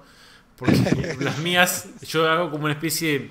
Yo las dejo que se llenen de polvo Agarro me gusta... un cono con el papel y empiezo...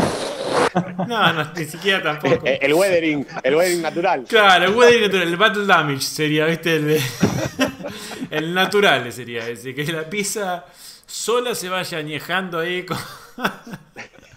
no, si ven mi colección me, me, me, acribillan, me la sacan. Me, ¿Viste como, viste como un hijo cuando te, si adoptas a un chico te sacan los papeles? Bueno, a mí me sacan los Famoso abanico de papel de diario, ¿viste? Sí, no, no, yo le di a Mandy, le, di, a Mandy y a mi hijita una franela y que las limpie bien.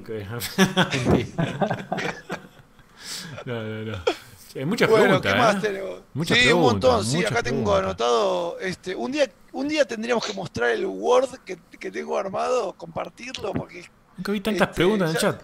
Llevamos 8, páginas de Word, ¿eh? Impresionante la cantidad de preguntas. Mira, Nicolás Campaña dice. Eh, por eso no, no, los hice tanto entrar al chat, porque aparte somos cuatro, uno más, se va a quedar chiquitito, ¿viste? Está muy bien. Eh, pero bueno, nos encanta que participen desde ya. Eh, Nicolás Campaña pregunta, ¿cuántos accesorios intercambiables son aceptables en una figura? ¿Les molesta que algunas figuras vengan con un montón y no tener dónde guardarlas? Todo tuyo, Dieguito, empezar. Yo, bueno, no, eh, a ver, a mí me eh, vuelvo a lo mismo que con las bases. en este caso, cuanto más accesorios me das, mejor porque tengo más posibilidades de, ponerla a mi gusto y a mi, y a mi criterio. Ahora hay accesorios que son realmente innecesarios, que no suman. Y, me pasa lo siguiente, depende del tipo, el tipo de pieza, eh, algunas vienen con, la mayoría vienen con, eh, los cortes lo tienen lo que sería el antebrazo, ¿sí? Muñeca, o si depende del tipo de traje que tenga, si tiene una muñequera o algo, eso calza. Ahora, muchas veces también eh, el accesorio que vos le cambiás cambia, aunque sea ligeramente, pero cambia la pose. Y yo interpreto ahí que si ustedes esculpieron algo, le dieron la forma anatómica exacta para la pose que me quisieron contar. Y entonces no me entra cómo puede ser compatible que tenga, por ejemplo, un brazo para abajo sosteniendo, no sé, un arma o un brazo para arriba señalando algo. Eh, yo no puedo cortarme el brazo y cambiar la posición y que no se me modifique la, la parte pectoral, muy bien, muy bien. la parte de la espalda. Excelente. Entonces, digamos, hay, piezas, si vos me decís, me traes, hay muchas que traen muchos accesorios que son distintos tipos de armas, distintos, la cabeza con máscara, sin máscara, con, perfecto, dame todo lo que puedas.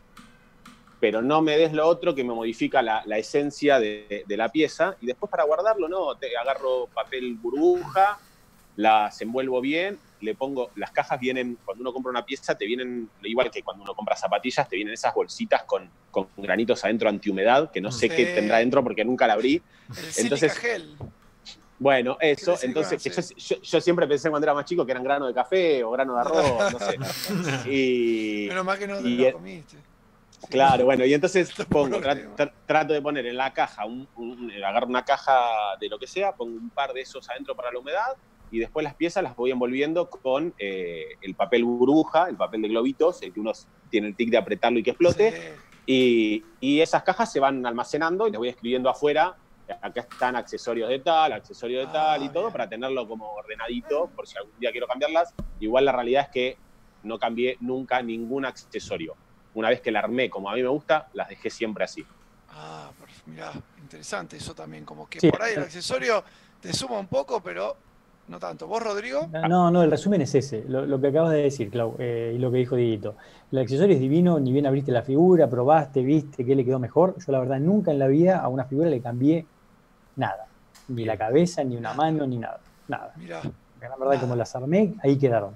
Ni para rotar, para verla diferente de vez en cuando, nada. ¿Y qué pasa? Yo les cambio la pregunta. ¿Y qué pasa si una figura te viene sin accesorios? ¿El coleccionista se va a decantar por otra que traiga más accesorios pero que no esté tan linda? ¿O, qué onda? O sea, ¿cuánto peso tiene el accesorio a la hora de elegir una figura?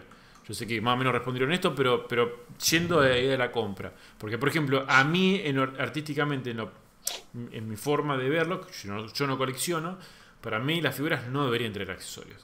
Las figuras deberían, es como, me imagino como no sé, ustedes saben que, claro, me imagino, no sé, el David Miguel Ángel con, con en vez de la mano así, que la mano para allá, o ponerle otro, un morral distinto, cambiarle la cabeza, los pelos, no sé. Es como que me imagino que la concepción del, de la figura no tiene que basarse en saber que tenés que agregar algo más para que venda un poquito mejor o para que tenga ese efecto más de, ah, bueno, pero trae esto también, ¿no? Eh, no sé, en, su caso, eh, ¿es tan importante ¿Qué pasa si no viene con, nada? No, Dani, mira, yo totalmente de acuerdo con lo que vos dijiste. A mí, la verdad, no me influye para nada el momento de decidir una compra, los accesorios que tenga la figura. Eh, hablando de lo que son, por ejemplo, las de Saiyo Premium Format, las versiones exclusivas o regulares, eh, para mí es lo mismo. No, no, me dan ningún valor agregado, la verdad. ¿Y les ha pasado de, usar una, eh, tipo, no cambian nunca los accesorios, pero les ha pasado de usar la versión que no es la principal de la caja? O sea, no lo cambio nunca, pero sí pongo la segunda cabeza. Es bueno, es bueno eso. Bueno, pero hay, un tema. Dale, Diego, dale vos. No, no, por favor, por favor, dale. No, no, que hay, que hay un tema. Hay que ver también que realmente la figura con el accesorio o con la, con la cabeza principal que viene, que sea la que representa la figura en sí. Y no que te pongan una cabeza que no sea la del personaje original y la del personaje original sea el accesorio. ¿Me explico? Muchas veces la cabeza que te venden como el accesorio es la que representa más al personaje en su esencia que la que viene como principal. En, esos, en esas situaciones, obviamente, si uno se, queda más con el accesorio. Pero la lógica sería que eso no debería de pasar. Mira, un ejemplo es el HAL que tengo acá atrás. La versión regular viene con el casco y la versión exclusive viene sin el casco. Y para mí, en lo personal, el HAL Gladiator tiene casco. Entonces, y voy con la regular. Entonces me preguntas, eh, ¿te cambia? ¿Querés la exclusive? La verdad que en esa pieza me da exactamente lo mismo, porque si me lo das no la voy a utilizar. Claro, entiendo. En cambio, después sí hay personajes que por ahí tienen dos cosas muy referentes. No sé, un personaje que tenga, no sé, una, ametralladora y una katana a la vez. Y entonces voy a decir, bueno, si me lo das con la ametralladora, capaz que me gustaba con la katana. Entonces ahí sí dame las dos. Pero si no, en el 98% de las ocasiones, eh, de hecho, yo coincido con Dani, para mí no deberían existir. Para mí debería existir una sola versión. Bien. Una estatua. Sí. Como sí, bien pensada, ¿no? Bien pensada, bien analizada, pero dame una. Porque aparte a mí me gusta comprar lo que vos me querés vender. Claro. Vender no, no vender de la venta del producto, sino lo que vos me querés contar. Y vos lo que de una manera. Yo no creo que ustedes, capaz, corríjame, ustedes que son escultores piensen en un diseño y, y piensen cuatro variantes para ponerle ya el diseño. Me parece que es más como una necesidad que, tenemos, que tienen para darle un extra al coleccionista, pero que es secundario. Ustedes cuando lo piensan y lo sale de sus mentes, mm. imagino yo que sale de una manera. Entonces yo quiero esa, la que vos creaste. Sí, sí, sí. Lo que pasa es que a veces uno ya sabiendo cómo se maneja el mercado, tenés la necesidad de, no te digo de concebir la pieza pensando en los accesorios, pero tenés que tener más o menos un poco en mente qué puede ser ese exclusivo. Lamentablemente para mí, porque yo odio eso. O sea, odio que tenga que tener un exclusivo, pero es como también, vos pensás que si las empresas ponen, lo sacan de repente, eh, los coleccionistas se vuelven locos, porque no todos opinan eh, como, como ustedes lamentablemente, porque a mí me parecería que mejor que por ahí, eh, no sé, no sé qué podría, qué podría suplantar el accesorio para ustedes. E, Esa es una pregunta, está buena. Si las empresas deciden sacar los, los exclusivos y sabiendo que los coleccionistas van a decir, van a pegar el grito al cielo, como se dice acá en Argentina, ¿Qué podría reemplazar ese accesorio?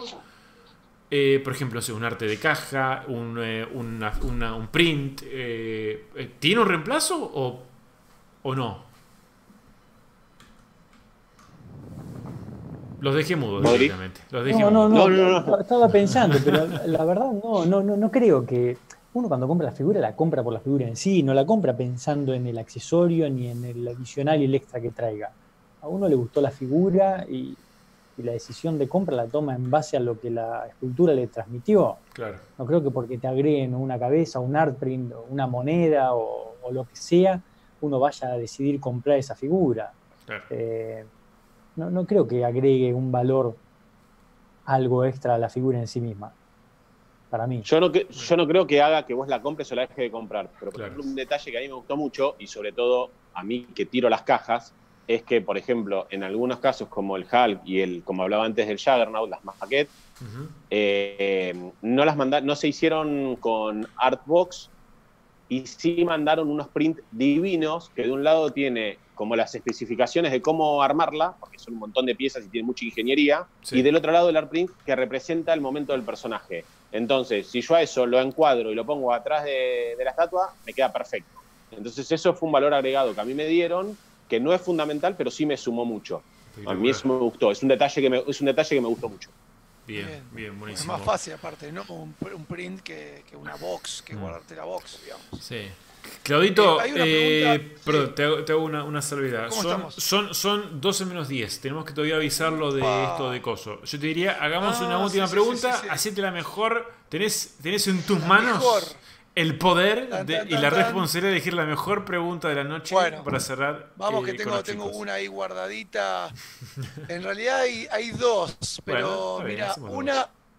Vamos con La hacemos cortita, dale, dale. Una, Sebastián, Sebastián Manuel Paz dice: ¿Socialmente disfrutan compartir las colecciones con amigos o prefieren la privacidad y disfrutarlas solos? Habíamos hablado igual un poco de la familia, pero esto como que extiende más a los amigos. ¿Cómo lo viven? Este muchacho lo conocemos. Sebastián Manuel Paz es el Sebastián que, Dani le mandó el saludo, así ah, que sabe que lo compartimos con amigos. Y, nos hicimos todos, Rodrigo, Seba y un montón de otros chicos, nos hicimos todos amigos con esto, así que lo más lindo es compartirlo. Sí, la verdad, vamos un grupo hermoso, un grupo muy, muy lindo, gracias al coleccionismo, que eso está muy bueno. Muy bien, y vamos con una pregunta que esta sí está, está buenísima. Va, me parece como que, es interesante, creo que no la tocamos todavía. No, la otra más o menos. Pero era como el final, a ver. ¿Qué hace un coleccionista cuando se le acaba el espacio para las figuras? ¿Dejan de coleccionar o reemplazan? Y si reemplazan, ¿qué tienen en cuenta, Miguel Gutiérrez? Mira, lo primero que uno le pasa cuando pierde el espacio es se quiere matar. Porque, porque, porque sentís, porque a ver, lo lindo del coleccionismo no es llegar yo creo que el día que llegaste a donde vos querés, se te acabó la pasión. Lo lindo es ir recorriendo el camino. Y el día que te cortan esa posibilidad es como que decís, ¿y ahora qué hago? Eh, indefectiblemente, si, no tenés eh, opciones económicas para ampliarte o, alguna cosa de esas, y lo que te va a pasar es que cuando te guste una pieza vas a tener que reemplazarla por una anterior. Yo no, no pienso y no, no imagino dejar de coleccionar. Sí, reemplazaré cosas. Espero que para ese entonces el gusto me vaya evolucionando y me haya cambiado al punto de que algunas cosas ya no me gusten tanto, entonces no me duela tanto desprenderme de esas para incorporar las nuevas. Y si no, bueno, será cuestión de elegir la que menos duela o persuadir a los hijos que se vayan a, vivir solos aunque tengan 10 años. ¿no? O sea, bueno, es hora de emanciparte. que a los hijos los Dame tu pieza. ¿Qué pensarías si les dijera? Ya que no los criar en la calle, como cuando éramos chicos nosotros, que los crían los abuelos. Claro. ¿Y, vos, Rodri? Sí, básicamente lo que dijo Dieguito. Yo por ahí colecciono hace un poquito más de tiempo que él y yo ya empecé en un momento a, depurar un poco y a rotar un poco la, la colección. ¿Y, se, vende, se compran figuras? que ¿Es fácil conseguir compradores? A ver, depende del momento. Depende, como siempre, el, momento. Eh, hoy no sé cómo estará el mercado. Creo que debe estar bastante más duro, pero sí, la verdad que siempre hay eh, gente que se interesa de, piezas. Eh, yo, de hecho, la, la Trinidad la renové toda y no tuve mayores problemas. Perfecto, buenísimo. Bueno, la verdad que creo que con eso este, tenemos muchas preguntas. No, igual ya está. hacemos otro, otro encuentro con los chicos. Ya, los comprometemos en vivo. ¿Se copan otro encuentro, chicos, en algún momento? Eh, yo me, copo solo si me dejas pasar mi Instagram. sí, por favor, pase su Instagram ya mismo. Ya.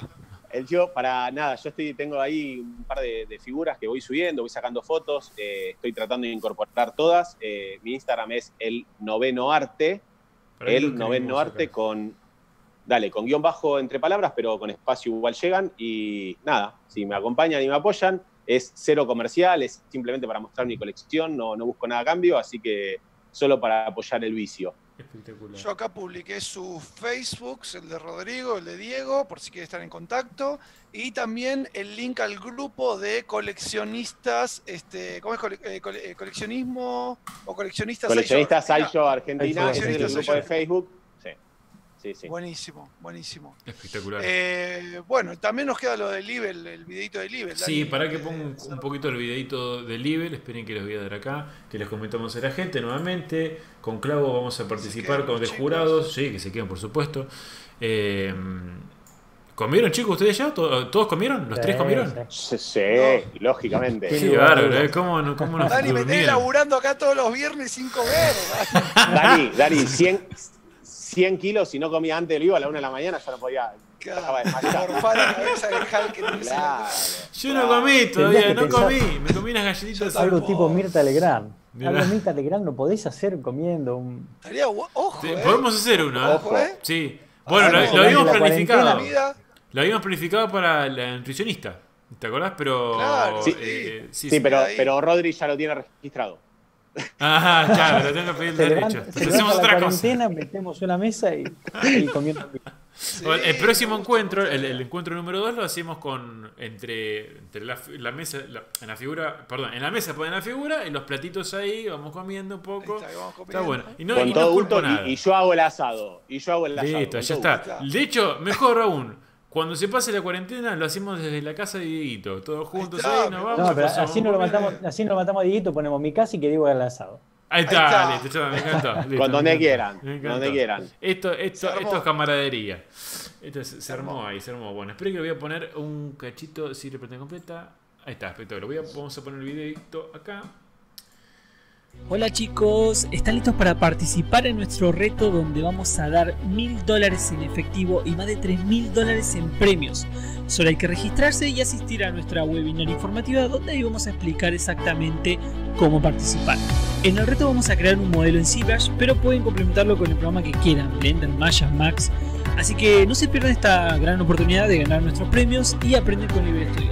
Regístrense ahora y los esperamos en nuestra webinar informativa. Saludos.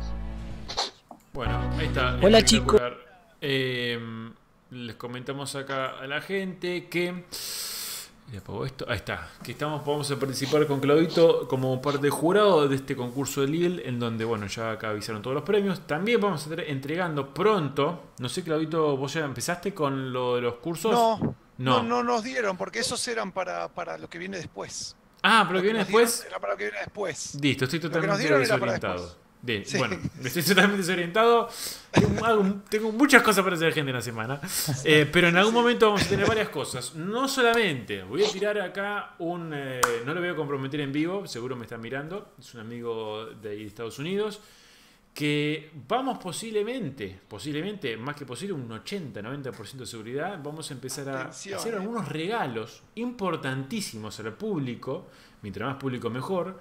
De figuras Escuchen, gente, lo estoy diciendo. de eh. figuras, tenemos a alguien que nos va de Estados Unidos a patrocinar, eh, más que patrocinar, eh, ayudar mutuamente. Vamos a ayudar mutuamente a que tanto el coleccionismo crezca desde nuestro lado, aportando un poco lo que, lo que hacemos día a día.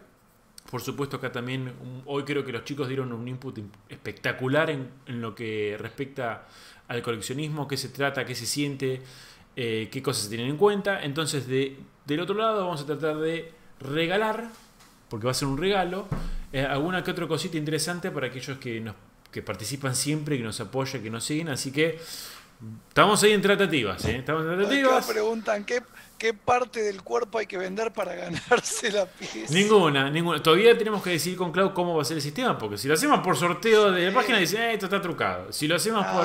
Eh, no, para ganarse una figura van a tener que, verse los 15 lives, ¿eh? Y los otros 4 bueno, challenges. bueno, pará, ¿eh? porque eso es cierto. O sea, la mejor que se nos ocurrió es hacer un, una pregunta en particular. Y quien haya visto difícil, el primero que responda automáticamente se lo lleva. Sean los cursos que vamos a estar sorteando luego o estas figuras que posiblemente van a estar en el, canal patrocinadas por eh, un amigo que luego, eh, cuando cerremos todo, vamos a ir a estar comentándoles y muchas otras cosas más con el futuro. En el futuro digo que bueno, el canal de a poquito va creciendo, estamos eh, obviamente con Cloud intentando hacer que esto sea cada vez un poquito mejor.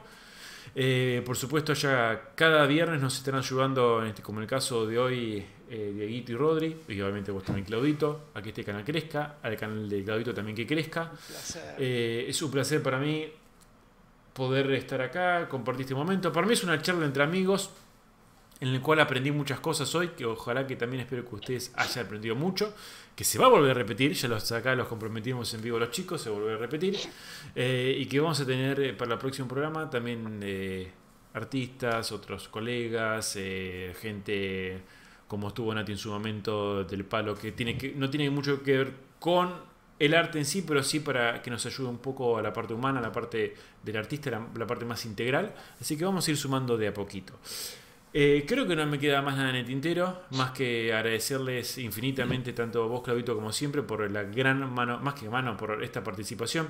No lo ves más, más participación, es, el, es mi co-keeper para esta co-conducción, por así decirlo, porque es así, es así. La co-conducción, eh, que sería muy, muy difícil de hacerlo sin vos. Más que difícil sería no tan agradable y no tan disfrutable como yo lo disfruto y sé que la gente también.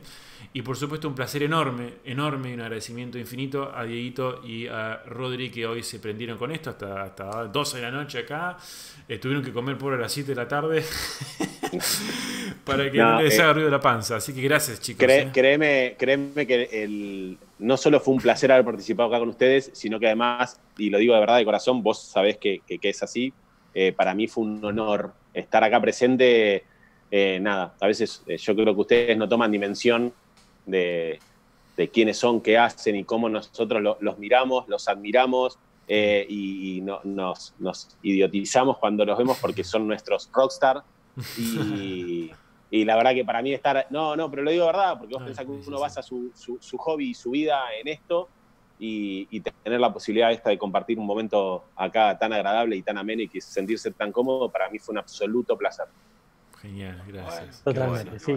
Sumar, sumar al viejo Diguito también las gracias a ambos por, por abrirnos las puertas, invitarnos eh, y resaltar mucho la sencillez y la humanidad que tienen, que es un valor muy importante en la sociedad de hoy. Así que gracias de verdad. Bueno, hermoso, hermosa palabra. Nos alegra que hayan pasado un buen momento también, ¿no? que se hayan divertido, un montón de preguntas. Normalmente hacemos participar a la gente, pero hoy había tanta cantidad de preguntas que era una tras otra, y quedó un montón por hablar. De, esas notas que habían hecho este, espectaculares, súper analíticas, está buenísimo.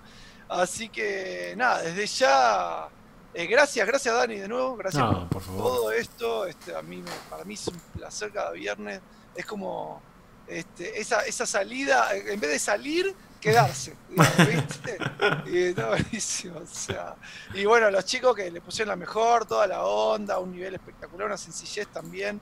Este, se, nota que son dos personas este, que, trabajan un montón, que son súper sencillas, que tienen una colección espectacular y así toda la, predisposición de como si fuesen amigos que nos conociéramos hace un montón de tiempo. Totalmente. Este, yo los conozco hoy, digamos, así que... Claro, es que nosotros a vos te conocemos hace un montón. vos no nos conocías. claro, una cuestión de en un solo sentido, digamos. Pero nada, un placer. Ya, sabemos, ya sabemos que vos no respondés preguntas, no lees preguntas de mucha gente. Eso, no, eso, desde, desde ya. Si uno algo me caracteriza es olvidarme de responderle a la gente. no, Así que bueno, nada, chicos, un placer, Dani, lo como siempre. Te toca cerrar. Este, gracias a todos, perdón, gracias a todos y a todas las que están ahí viéndonos. Más de casi 300 personas tuvimos hoy, increíble. Mm, excelente. Este, y, y, realmente, de nuevo, esto lo hacemos nosotros, lo disfrutamos mucho, lo hacemos para ustedes eh, por y para ustedes, porque esto es este, sencillamente es para que ustedes se animen a esto, a coleccionar, se animen a, exponer sus miedos con las preguntas a la psicóloga, se animen a descubrir el mundo de la escultura, se animen a ver de nuevo.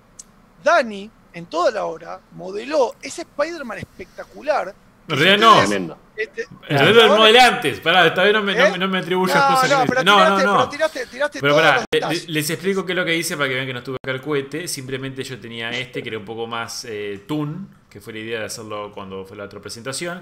Y eh, aplicando las técnicas que vimos hoy, un poco de esto de, de polygroup, selección, máscara, etcétera, traté de darle un poquito de algunos efectitos distintos, como ven acá, eh, no sé, buena mascarita, los lentecitos, etcétera. Eh, así que, bueno, estuve haciendo un poco eso de fondo, viendo que, no, me quería perder mucho lo que decían los chicos, entonces también estuve ahí a media máquina. Pero bueno, creo que complemento lo que dijiste vos, Claudito. Siempre en este programa, no sé si se dan cuenta, es muy difícil irse. Eh, las despedidas duran minutos, Son, son eternas. Pero no me corta importa. vos, no, corta vos. Claro, corta vos. claro.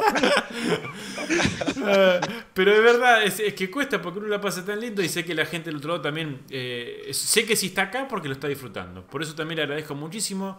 Como dice Claudito, este, el programa este lo hicimos para, ustedes, gente, pero también ustedes hacen el programa con sus preguntas, con su participación, con compartiéndolo, luego dejándonos mensajes, eh, ayudándonos a que esto crezca y a entender qué cosas mejorar, hacer, cambiar o lo que fuera para que haya mucha más comunidad. Sabemos que esto es algo de nicho, o sea que la escultura digital sobre todo es mucho más nicho que el arte digital en sí, pero lo que estamos intentando hacer con, con, con Clau y con todos los invitados es que justamente no que deje de ser un nicho, que se vuelva, como decimos siempre con Clau, algo que no sea una opción, sino que sea, eh, digamos, una opción de descarte, esta profesión, sino que sea una, una, una primera opción. Y yo creo que como hormiguita, de a poquito, granito de arena por granito de arena, creo que, no sé si lo estamos consiguiendo, pero les aseguro que estamos eh, eh, en el proceso de, de hacerlo y con muchas ganas de que esto algún día se, transforme en eso, en algo que realmente mucha gente eh, lo disfrute, aprenda de y, que, que, que, quedamos todos juntos y que nos conozcamos mucho más, que por esto también sirve el chat, como les dije, compartan sus cosas, compartan sus laburos, así como recién Dieguito compartió su Instagram para que mucha más gente lo siga y vea lo que hace. Acá no hay plata de por medio, acá no hay nada, es simplemente compartir y hacer correr la voz, que creo que es lo más importante. Así que, gente, ahora sí, yo soy el que voy a cortar el teléfono. Les mando un beso grande a todos, un beso enorme a Dieguito, a Rodri, a vos Clau, a toda la gente que nos mira, por supuesto ahí de fondo a mi esposa que está siempre firme y cuidando de las peques, a mi madre, a mi padre, a mi hermano, a toda mi familia que están ahí que siempre... Y a todos los que me conocen. A todos me conocen, a mi familia, la parte de mis suegros, a todos que siempre están ahí, que mandan comentarios. Y el otro día me dijo, mi suegro otro día, que le dijo a, a mi Laure, decirle a Clau que no me leyó comentario que le mandé a uh, Dani. Mi suegro. ¿Escuchaste, ¿Pero qué pasa, loco? Ahí te zarpaste, Clau. No puede ser, no puede ser. Decime quién es tu suegro que lo acomodamos. Se, llama Jorge Selva, mi suegro, así que tendés que la próxima, cuando veas un Jorge ahí, tenés que, tú, ahí tenés que agarrar. Sí. Vos tirame que... los que son VIP, los VIP. Y ahí estos son VIP. Estos, los VIP no se pueden. Y ah, pará, te cuento otro mucho mejor todavía. Mi, madre, mi mamá día me dice. Hoy me están prendiendo fuego. Pará, mi, mi, madre el otro día me dice, che, te mandé como cinco comentarios, hijo, y ninguno, no lo vio ninguno. Y yo, no, pero yo, ese es Clau el que lo lee, no yo. Usted dígame, señora, dígame, yo soy la mamá de Daniel. Léeme, por favor, los comentarios. Claro, tiene que decir, soy, soy Daniel, soy la mamá de Daniel, soy la hermana de Daniel, etcétera, así. Pero bueno, Acá dicen que hay que acomodarlo como a Mandonga. Hoy me prendieron fuego. Para, ¿puedo compartir la pantalla antes de cerrar? Sí, comparta, comparta. Comparta, chiquitito, pero a ver si para puedo, que te, ver para si que te doy el acceso a. Ah, no, a, no tengo permiso. Para, para que te, te, voy a permitir ahí el acceso de compartir pantalla. ¿Dónde estás? ¿Dónde estás? eh, permitir... Bueno, ¿saben qué? Necesito ahí más está. sueldo. Ahí viejo. está, ahí está. Bueno, che, estamos, estamos en cuarentena, no se puede pedir aumento ahora, ¿eh? Ah, bueno, bueno, pero yo lo hago. Mira, a ver si se ve. Para. Se ve. se- no sé si se llega a ver el chiquitito, quizás se ve. Esto es todo lo que escribimos hoy. O capaz que. No sé si hay que. A ver si se ve ahí. Para que no sé dónde estás Sí, compartiendo. ah, no, pero se ve, pero se ve. Ah, pará, pará, pará, pará. pará, Ah, se ve una así. partecita. Uy, ¿cómo hago esto para poner así? A ver ahí. Ah, no sé si tenés otra escena que se vea en primer plano. Uh, pero andás a ver, puedo tocar cualquier cosa. Pero igual ahí se ve, Ah, bueno, ahí se ve bueno, que hay un montón ven, de cosas. ¿Ven que hay. ¿Ven todas estas páginas? O sea que son eh, ocho páginas de Word. ¿Sí? Mirá cómo. Eh, Qué to- grande, eh. Todo esto, todo esto lo, es, es suyo, digamos, ¿no? Mirá qué laudita. Este, así que ahí, ahí se ve, ahí se ve mejor. Ocho páginas de Word que, que, que fuimos escribiendo hoy, digamos. Así que todo eso, todo eso de ustedes, gente. Este, hacemos lo que podemos. Pero, pero, pero igual me encanta, ¿eh? que, que se, que se enojen, para, para que vean lo especial que es que les leo unas preguntas. Este, acá no leemos cualquier cosa, salvo, salvo los de la familia de Dani, que no sabía que era la familia de Dani, por supuesto. Este, si no se os. Ahí te digo que. Mamá de Dani. Sí, ahí, te. eh, sí, la vez que vengas para casa, cuando vengas, el platito, la, la porción de comida va a estar un poquito reducida, te digo. Me parece que Sí, ahí. sí, sí. Vos tirame los nombres, yo porque no conozco a tu familia Dale, todavía. Conozco a, tu círculo, digamos, tu, tu esposa y la nena, digamos. Ahí está. Bueno, gente, Bueno. ahora sí. eh, la la pasamos genial. Nos vemos el miércoles que viene, Claudito, con lo tuyo. No, lunes. El lunes, lunes, de feedback. Ya no hay más desafiércoles, nos despedimos. En realidad acordamos con la gente que vamos a hacer temporadas de desafiércoles. Así que terminó la, primer- la primera temporada. Vamos con los lunes de feedback, lunes que viene. Está Si perfecto. podemos, lo tenemos a Dani, pero Dani está medio a full, así que. Vamos a tratar de hacer lo posible estar ahí, por supuesto, por supuesto. Bueno, nuevamente, gente, Claudito, Rodri, Dieguito, gente a todos, gracias. Nos vemos. Un beso